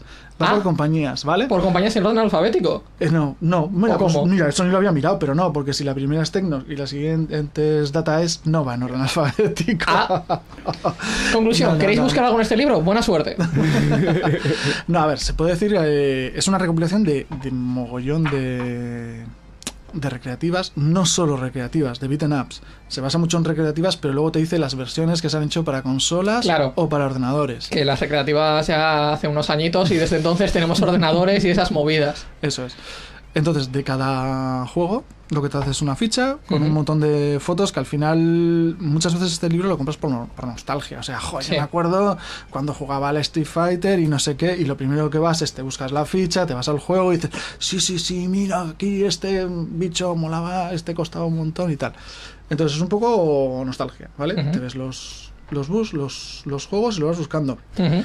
Para la gente que le gusta más escarbar en distintas versiones, te saca distintas imágenes del mismo juego en distintos ordenadores. Mira, por ejemplo, este, que es del Double Dragon. Sí, tenemos para que lo vean. capturitas y cositas. Te viene un montón de capturas Ahí está. de la misma del mismo momento del juego, pues yo qué sé, en Game Boy, en Spectrum, en Atari, en Advance. Te estoy viendo Vale. así de reojo y te estoy viendo que hay mucha imagen, pero la información que nos dan al respecto del juego, ¿cuál es? ¿Nos dan también su eh, relevancia histórica o demás? ¿O, o cómo va? Mm, te habla más del desarrollo, desarrolladores, quién lo hizo, cuándo, las personas, eh, argumento del juego, o sea, porque aunque sí es salir y pegar, en algunos hay alguna historia por detrás. Claro, la sinapsis y demás. Eso es. De hecho, en algunos de ellos eh, te dice si tienen películas, si salen en películas o si se han hecho mangas o cómics, ¿vale? Entonces te investiga un poquito en ese sentido, ¿vale? Por ejemplo, aquí tenemos de Ninja Warrior, te saca la publicidad también de la época, ¿vale? Entonces O sea, está- para aprender al respecto de la, la época histórica en la que se sitúa cada uno, va guay, va sí. bien. Sí, sí, sí, sí, sí. Vale. Y bueno, eh, yo lo compraría por eso, o sea, por... por- Pero más por nostalgia. Sí, es la palabra, o sea, era pues, es por nostalgia. Para conocer juegos nuevos también, hay gente que, que es el género que le gusta. Normalmente, si es tu género, tu género investigas. O sea, es muy raro que se te escape alguno. Pero si eres un poco casual de, pues sí, Double Dragon, Street Fighter, eh, Los clásicos un poco históricos, beatemaps. vas a buscar alguno más raro. O ediciones japonesas o versiones japonesas que son más difíciles. Está muy bien. Para primeras ediciones y tal, sí que es verdad que Mm. es, es complicado ya. No, pero fíjate que es curioso el hecho de que, de que esté en, en castellano traducido tal y como has dicho. Porque, por lo general, este tipo de, de libros, o digamos, este tipo de información que se suele guardar de juegos retro antiguos, suele ser más en idioma original, como mucho subtitulado español, el clásico. ¿Pero te refieres a los juegos o...? A los propios juegos, sí, al contenido de los propios juegos. Sí, no, no, los juegos normalmente te los encuentras tal y como salían. O sea, el, el libro en sí, en principio tampoco es un... El autor no es español, Ya. ¿vale? Eh, este hombre... Francés has dicho que creías que era. Sí, y lo que tenía, tienes una, una página web que es... Ah, mm, mm, qué magnífico es mi inglés. Hardcore Gaming 101.net. vale, eh, entonces este tiene una base enorme de videojuegos y claro, de ahí es donde viene su afición y de Ujú. donde he sacado la información. Pues está, está curioso, la verdad. Hmm. Eh, pues vamos a recordarle a los, a los oyentes título, escritor y publisher. Me sale publisher todo el rato. Editorial. Editorial del, del libro. Se llama Yo contra el barrio, la guía definitiva de los beatemaps. Ajá. escrito por Hardcore Gaming, que es Kurt Kalata con otros autores adicionales y en este caso los escritores del formato en castellano, los traductores digamos, han sido José Antonio Moreno, más conocido como Ben Riu, José Ángel Ciudad y Carlas García. Y publicado en este caso por GamePress, editorial madrileña. Eso es. Ahí está. Pues muchísimas gracias por traernos este libro hoy, Miguel. Nada, gracias a vosotros.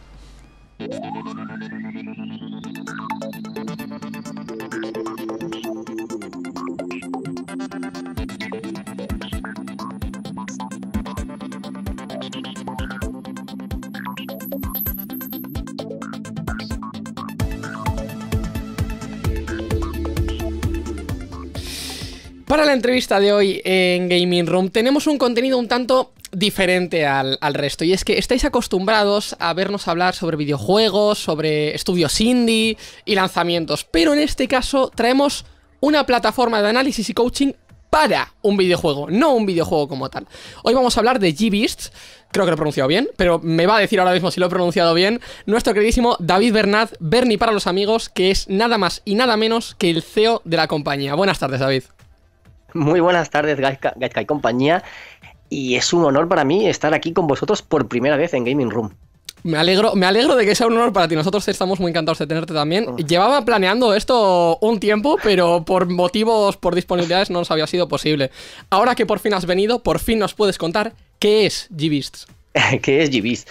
Pues tú lo has dicho muy bien. Es una plataforma de coaching para a jugadores de eSports. en eSports en general. Hemos empezado con League of Legends, porque es el videojuego competitivo por excelencia, podríamos decir. Es el que más jugadores tiene en el mundo.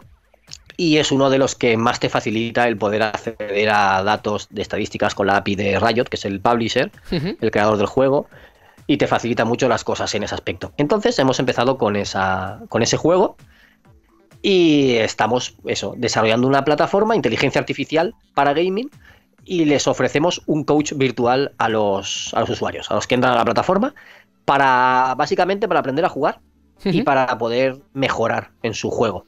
Porque sabéis que en videojuegos competitivos cuesta mucho eh, primero aprender el juego y después mm. subir de nivel, mejorar, subir a la siguiente liga, ¿Sabéis? No sé si, si sois Y además en un, en un, juego como LOL, que no hay rangos ni nada, no hay personajes ni nada, no hay cosas que hacen ni nada.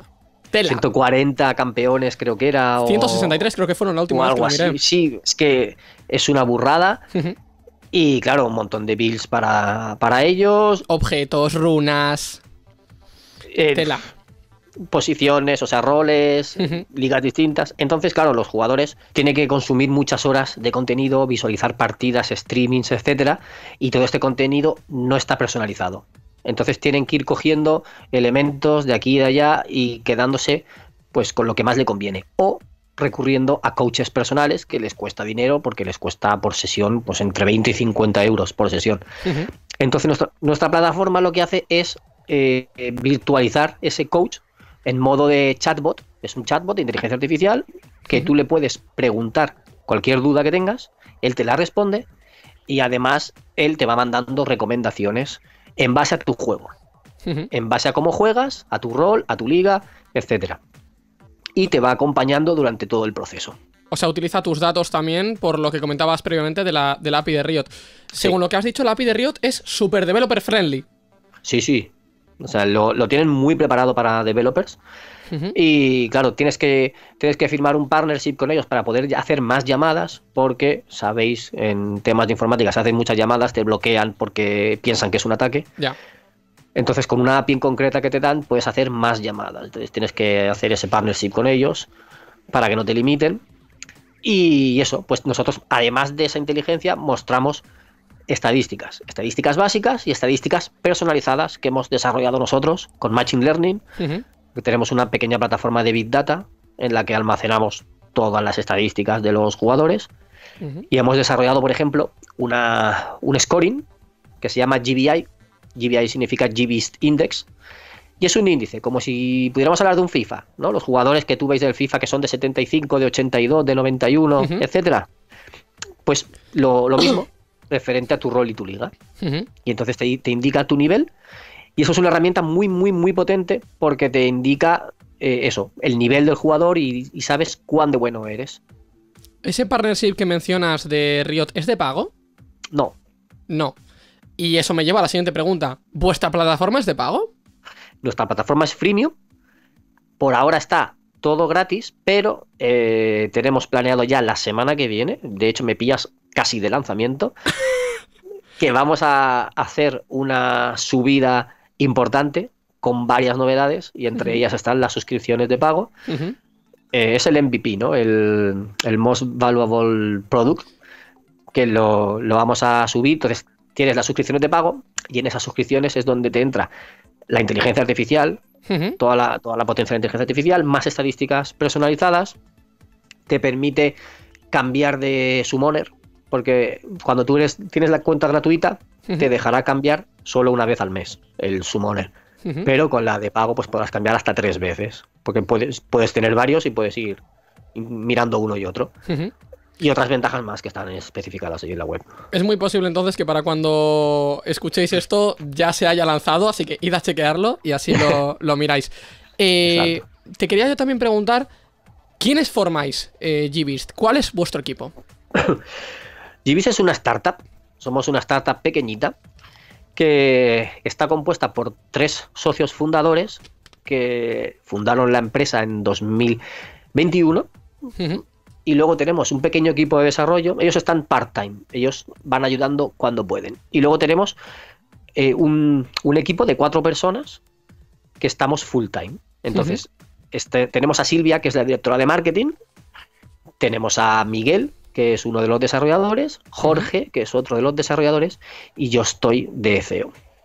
De CEO, de labores de CEO y ayudando, bueno, desarrollando la inteligencia artificial. La de se llama Agravine, nuestra inteligencia artificial, este chatbot se llama Agravine, y estoy desarrollándola yo. Con ayuda de los compañeros de vez en cuando también, pero principalmente lo llevo yo. Y ellos son los que llevan todo el tema de desarrollo de la web, de solucionar errores, de, nueva, de nuevas funcionalidades, etcétera. Ujú. Y me has dicho que habéis empezado en el 2021. Ujú. ¿El equipo de entonces sigue siendo el mismo? ¿O habéis tenido cambios? Ha habido cambios. Hubo gente, yo entré en mayo. Yo en esta empresa entré en mayo de este año 2023 y ahí ya estaban Silvia y Jorge. Aunque eh, Silvia sí que está desde el principio, pero Jorge se reincorporó después. Se, se incorporó en 2022, no me acuerdo exactamente el mes, pero 2022. Miguel estuvo unos meses, que estuvo de prácticas y ahora que ha terminado la carrera ha vuelto con nosotros. Eh, me, de acuerdo, de hecho me jo, perdón, me acuerdo de cuando comentaste por el, por el grupo que efectivamente pasabas a ser CEO de Gbist, la ilusión definitiva y absoluta. Me acuerdo Sí, sí, todavía, sí. me acuerdo todavía de ese momento. Total, total. Es que es un cambio. Tú imagínate ser aficionado de los videojuegos de toda la vida Y poder dedicarte a poder- ello. Poder dedicarte a ello. Hmm. Eh, es un sueño. Es bonito, es bonito. Eh, ya que me, me comentas lo de las estadísticas y tal, no puedo evitar pensar en programas tipo Bleach, en programas tipo Profesor. ¿Tenéis implementado o tenéis pensado implementar un sistema por el cual tú tengas un overlay in-game para enseñarte esos datos y esas cosas en cada partida? Lo tenemos pensado, pero no hemos, no hemos empezado todavía con, con el desarrollo de nada de eso. Por ahora eh, es una plataforma que tú entras después para ver. Eh, La plataforma analiza los datos de tus partidas y cuando ya lo ha procesado el- la plataforma de Big Data, entonces te lo muestra. Y bueno, aunque las, las últimas partidas sí que son inmediatas, te metes y lo ves, pero lo que procesa después y hace Machine Learning y te da recomendaciones, eso viene pues pasados una- unas horas, unas poquitas horas. Todavía no hemos empezado con desarrollo de esa parte, igual que Movalitis también se instala en el, en el PC y entonces mientras juegas también lo tienes ahí ayudándote. Todavía no hemos llegado a esa parte, sí que nos gustaría en un futuro poder llegar a ello. Y por ahora lo que sí que ofrecemos es un widget que tú te lo puedes poner. eh, es, es, es un iframe de, de HTML, te lo puedes poner de, fo- de firma en un foro, te lo puedes poner en tu web, donde, donde tú quieras que puedas poner HTML, te lo puedes poner. Y te indica pues cuatro, cuatro cositas básicas, como el GBI, que, tu, tu índice de GBI, que te dice que, qué nivel de jugador tienes, la, el rol, la liga y últimas partidas ganadas, etcétera. Por lo que he estado mirando en, en la web, tenéis efectivamente una web para verlo y también una aplicación para iOS y para Android. Sí. ¿Tenéis pensado sacar un programa para ordenador? Ya te digo, todavía no lo tenemos en el roadmap. porque antes que eso queremos proporcionar más estadísticas personalizadas, que sí que, sí que las tenemos especificadas, sí que las tenemos pensadas, que nos parece una, un aporte de valor mayor a los usuarios de cara a aprender y luego más adelante, si se puede, si llegamos, si el proyecto va bien y todo va hacia adelante, pues entonces sí que nos gustaría meternos en la aplicación de escritorio, por supuesto. Eh, hablando ahora desde un punto un poco más abstracto, digamos, hemos hablado de lo que es GBeast, del servicio que ofrece, de las opciones que tiene disponibles y demás. Si te parece, hablamos ahora un poco del apartado y esports, del entorno y esports en el que os movéis. ¿Cuál dirías que es vuestra presencia actual, tanto en el apartado casual y competitivo del, del LOL? Nuestro público son los jugadores eh, amateurs, ¿vale? Nosotros no queremos acercarnos, bueno, lo queremos. Nuestro objetivo no es acercarnos a los profesionales, puesto que ellos ya tienen sus coaches, tienen sus analistas, tienen su equipo que se encarga de, sacarles y de exprimirles lo mejor posible, ¿vale? Entonces ahí es muy difícil entrar. Que se podría, con tiempo sí, pero nos centramos en los amateurs, en los que quieren, quieren ganar. Quieren ganar un torneo, quieren ganar a sus amigos, quieren entrenar y aprender para llegar a ser profesionales algún día. Todos esos perfiles de jugadores entran. A lo mejor tú no juegas mucho a LOL, pero quieres empezar a jugar porque te apetece y tú quieres jugar con tus amigos, pero no sabes, oye, pues te suscribes unos meses, los que tú quieras, y vas aprendiendo a jugar. Y cuando ya lo, consideras necesario, te, das de baja de la suscripción y ya está. Es que está contemplado para todo ese público. Entonces, nosotros eh, colaboramos con algún equipo de eSports amateur, también colaboramos con algunos torneos que ya se han realizado, que se van a realizar, que están empezando ahora, por ejemplo, y les proporcionamos esas estadísticas y le proporcionamos esos datos que, ellos necesitan. Si quieres te pongo un ejemplo rapidito. adelante. Hay una, una competición que se llama Chaos Series, que han empezado ahora con los drafts y empezarán a jugar en enero. Un formato similar a Kings League. Kings League, para que te hagas una idea. Sí. Pues están haciendo ahora los drafts, porque tienen sus presidentes y van a, y van a fichar a los jugadores, ¿no? Pues claro, ahora con, nuestra plataforma ellos verán sus estadísticas, ellos verán su GBI y eso les ayudará, ¿no? A los, a los presidentes. No es lo mismo hacerte un equipo solo viendo las partidas que si tienes una referencia en datos, ¿no? Y que te dice, pues mira, este tiene un GBI de 25, este tiene un GBI de 48, pero este me interesa más. Ostras, este tiene 60 y pico, este, este ya me... Este me interesa mucho. Para que te hagas una idea, un jugador de Liga Esmeralda tiene por los 70 y pico de, de GBI. Por ende, yo que soy Hierro 1, estoy en puntos negativos. No, no, es imposible estar en el negativo, pero para que te hagas una idea, pues podrías estar en, a lo mejor en 40, no te creas, ¿eh? O, en 20 algo, no lo sé, depende, no, no lo he mirado todo, pero para que te hagas una idea. Claro, Entonces, entiendo que es una estadística más realista que digamos lo que es en competitivo. Te, voy a poner un ejemplo absurdo y para gente que sepa de LOL me entenderá. Eh, el otro día estaba yo jugando las placements de las partidas de, las partidas ranked y en la última la perdimos y me quitaron eh, rangos para, acabar en hierro 2, efectivamente. Pero yo me jugué a un Pike en, como support y yo me saqué una S. Entonces, claro, entiendo que eso desde el punto de vista del GBI es positivo frente a los puntos que me quita LOL por perder la partida. Sí, en base a cómo has jugado las últimas partidas, él calcula.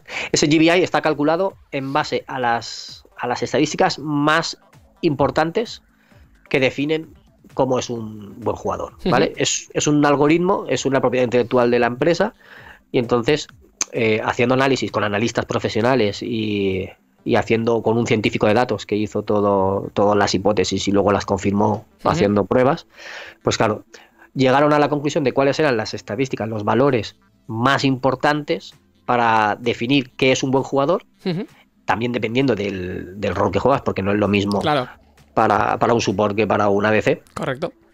Entonces, en base a esas estadísticas concretas, no coge todas las que te puede proporcionar la API, que a lo mejor te proporciona 50. No, se basa en las a lo mejor 25 más importantes. Y en base a eso, te hace, los cálculos para, llegar a tu GBI. ¿Dirías que ahora mismo el competitivo del LOL, como tal el de LOL, es el sector de esports con mayor fortaleza? Con mayor fortaleza, sí. Con mayor crecimiento mm, tengo dudas. Claro, se mantiene, pero no. Pero no Sí, aumenta. porque está aumentando mucho Valorant, por ejemplo. Sí, sí, eso es muy cierto. Eso es muy Sean cierto. diferentes, son juegos diferentes. También es cierto que los Worlds de LoL llevan, te puedo decir, 10 años y me puedo quedar corto, y los de Valorant creo que llevan 2. Sí, Efectivamente. Sí. exacto. Y valga la redundancia, claro. eh, he elegido el momento idóneo para grabar esta entrevista porque están siendo los Worlds de LoL ahora mismo. Exacto, exacto, exacto. Entre sí. el 10 de octubre y el 19 de noviembre. El 19 de noviembre, que será la final, y el día 10 que han empezado los, los play-ins. A vosotros, el hecho de que sean los Worlds, como tal, los Worlds 2023, desde el punto de vista de promoción, desde el punto de vista de uso de la aplicación, ¿os supone un beneficio? En cuanto a uso de nuestra aplicación, no. Ya te decía que nuestro público son los amateurs y los World lo juegan los profesionales. Sí, sí. Entonces, en ese aspecto no. Eso sí, eh, estos Worlds lo que hacen es afianzar el, el competitivo, afianzar el, eh, los eSports, ¿no? El, el LOL en, en estas competiciones. La gente cada vez ve más noticias, cada vez la gente eh, normal, me refiero, los que no están metidos en el mundo eSport, Ujú, cada vez ven más tipo de más este tipo de, com- de competiciones y eh, descubren o ven lo que se está gestando por ahí. Y, entonces saben que es un sector que está creciendo, se familiarizan, se normaliza gracias a este tipo de, de torneos. Y por otro lado, de forma ya secundaria, hay gente que empieza a jugar o que se motivan porque ¿qué pasa en, en verano cuando hay un mundial de fútbol? Venden más teles, la gente sale más a jugar al fútbol a la calle, se, se motivan más, ¿no? Le- se- practican más el deporte sin querer. Pues esto secundariamente sí que nos repercute un poquito en que la gente como que si lo tenía un poco abandonado retoma el juego. A eso Y precisamente era a lo que te iba, claro, de, de que la gente ve el competitivo y es la clásica del yo también puedo hacer eso, soy faker. Y Sí, para- claro. Pero entiendo que desde esa lógica eh, os benefició más la salida de Arcane, que hizo que muchísima gente entrase al LOL, craso error, pero que hizo que muchísima gente entrase al LOL más que los Worlds. De hecho, en el blog publicamos una noticia sobre Arcane, una o una varias, pero hubo un artículo que tuvo bastante tráfico y nos trajo bastante tráfico. Algo beneficioso entonces.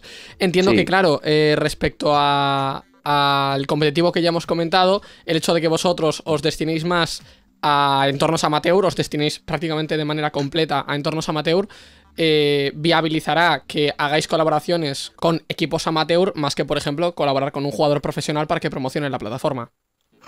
Sí, eh, pero no te creas, porque tenemos planeado eh, hacer marketing de influencia un poquito más adelante, cuando ya hayamos lanzado la plataforma, porque ahora mismo estamos en ronda de financiación. Estamos buscando financiación para la startup, para poder seguir desarrollando y trabajando en el proyecto. Y entonces, cuando consigamos levantar esta ronda y obtener la, la ampliación de capital, queremos invertir en mucho en marketing. Tenemos que invertir en equipo, en, en talento, lo necesitamos porque necesitamos manos para desarrollar todo, pero también necesitamos marketing para atraer a los usuarios. En- hasta ahora es todo orgánico lo que estamos haciendo, que, que en parte es lógico. Ahí está. Pero bueno. mm, Y- De hecho, dime. en, a, a finales del año pasado, 2022, se, colaboramos con un torneo que era el, el Wild Solo Queue Challenge, que era con influencers. Y participaron varios influencers y conocidillos del mundo de League of Legends. Y ahí tuvimos bastantes visitas y tuvimos bastantes registros en la plataforma gracias a, a eso, a ser la plataforma que les proporcionaba estadísticas. Entonces, claro, está demostrado que sí, que, que todo este, toda esa difusión que pueden hacer ellos nos beneficia y la buscaremos, por supuesto. Una vez hemos analizado la presencia, digamos, actual de Gbeast en, en el mercado, ¿cuál prevés que sea el futuro? El futuro, el que nos gustaría es que fuera la plataforma de referencia para los jugadores amateurs a la hora de aprender y a la hora de mejorar. Que sea algo normal. eh, bueno, para que me entendáis, queremos ser el OPGG español, ¿vale? Ese es nuestro objetivo y estamos trabajando en ello y queremos crecer para ello. Y queremos ofrecer cosas similares, pero además con la potencia del Machine Learning que tenemos y ofrecer más estadísticas personalizadas, no simplemente lo que te proporciona Riot mostrárselo, sino desarrollar estadísticas, predicciones, porcentajes que le pueda ayudar al usuario a mejorar. Pues dicho esto, te voy a dar tu minuto de oro para que, eh, dándole muchísima rabia a Íñigo, vendas tu libro al público. Vende G-Beasts a cualquier jugador de LOL casual que nos esté escuchando. Pues si eres jugador casual de League of Legends y en el futuro de otras herramientas, puesto que nuestra inteligencia artificial ya es capaz de responder preguntas sobre Valorant, sobre Counter-Strike Go, etcétera, si te gustan los videojuegos competitivos y quieres aprender, te recomendamos registrarte en nuestra plataforma para así obtener esas estadísticas personalizadas que no te ofrecen otros y estar al día de las novedades que vayamos incorporando poco a poco. Porque somos una empresa española, desarrollo en España, eh, desarrollo startup, tamaño familiar y ofrecemos y ofreceremos mucho contenido interesante en los próximos años, en los próximos meses.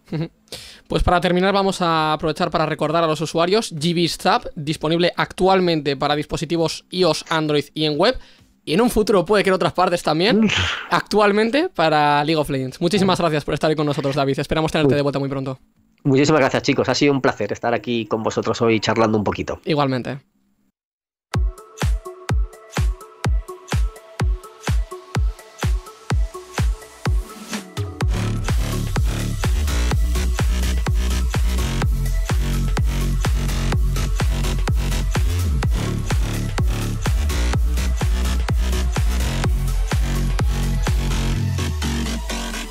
Pues ya estaría, ¿no? Pues hasta aquí hemos llegado, efectivamente. Hoy, hoy completito el programa, ¿eh? Sí, hoy, hoy completito. Hemos tenido muchas noticias, hemos tenido sección, además, con, con Miguel. Gracias, Miguel, por pasarte, gracias por contarnos cosas de libros. La gente se culturiza, con Miguel es brutal. Efectivamente. Es brutal. Y también hemos tenido a David hablándonos de, de, de cosas de LOL, después de que efectivamente José nos haya hablado de cosas de LOL. Droga Es- para eso- drogadictos. Volvemos a poner, volvemos a poner miniatura de Gaming Room con cosas de LOL para volver a tener 200 visitas en. YouTube. Sí. Sí, ¿no? Sí, sí, sí. A lo mejor Mikel me mata, porque Me- creo que ya me- la tiene preparada. Y, y luego No, no, pones. captura Sí, esto. Clipea, clipea. así. Efectivamente, ahí está, ahí está. Y luego pones en plan eh, un Warwick aquí, eh, a Faker aquí abajo, el logo de T1, el logo de los Worlds. ¿sabes? No, hay que, no, pero hay que poner, hay que poner a Faker, pero todo en negro y con un símbolo de interrogación. Sí. Es como se hacen las miniaturas. el buen hombre, clickbait, ahí el buen, el buen clickbait, Oye, efectivamente. escúchame, yo creo que estamos a tiempo. Pasamos a Miquel y. Ahí está, Miquel. Miquel, Miquel trabaja muy duramente y muy rápidamente, efectivamente, Efectivamente. como tiene que ser, efectivamente también. Eh, pues nada, eh, precisamente, Miquel, gracias por la miniatura que no sé si has hecho ya, pero ahí estará y cuando esté también estará. Y por producción también, pero bueno, eso es secundario, ¿no? Lo, lo importante es la miniatura. Efectivamente. Íñigo, sonido, micros, cosas. Buah, Micros, micros. Solo hago micros, ¿eh? O sea, volvemos a hacer estos no, cambios de esos cámara cambios, no son míos. esos cambios los hace el. Espíritu Santo. Sí, sí, en Así persona, no te jode. Ah, anda. En persona lo dudo. En plan, lo controlamos con la mente, ¿sabes? Cuando yo quiero Ahí hablar, está, en plan, yo manipulo la cámara, en plan, mira, ahora se va a pasar a Carmona, mira, hace ¡bum! ¿Ves? Aquí ¿Ves? Es que soy ¿Ves? Es que soy ¿Ves? Dios, ya está. Qué épico. Grandioso, Qué venga. épico. A ver, podemos hacer la mítica de cuando, de cuando hacíamos en temporada 1. ¿Podemos terminar este programa? No, no. La mítica de cuando hacíamos en temporada 1, Íñigo, la del eh, gracias a Íñigo por el control de los micrófonos que tenemos delante. ¿No te acuerdas de eso? Yo No, sí. no, no, yo no me sí, acuerdo. Yo me acuerdo de eso. No. Eh, José Andrés, eh, una semana más con cadenas. Ya veremos la siguiente. No eres Silas, pero casi.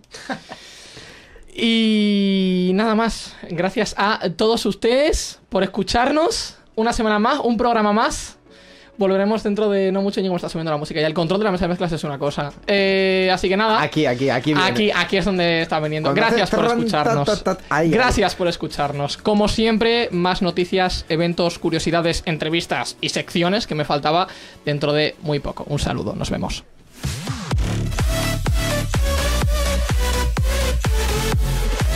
Muy bien, muy bien clavado, ¿eh? Muy bien.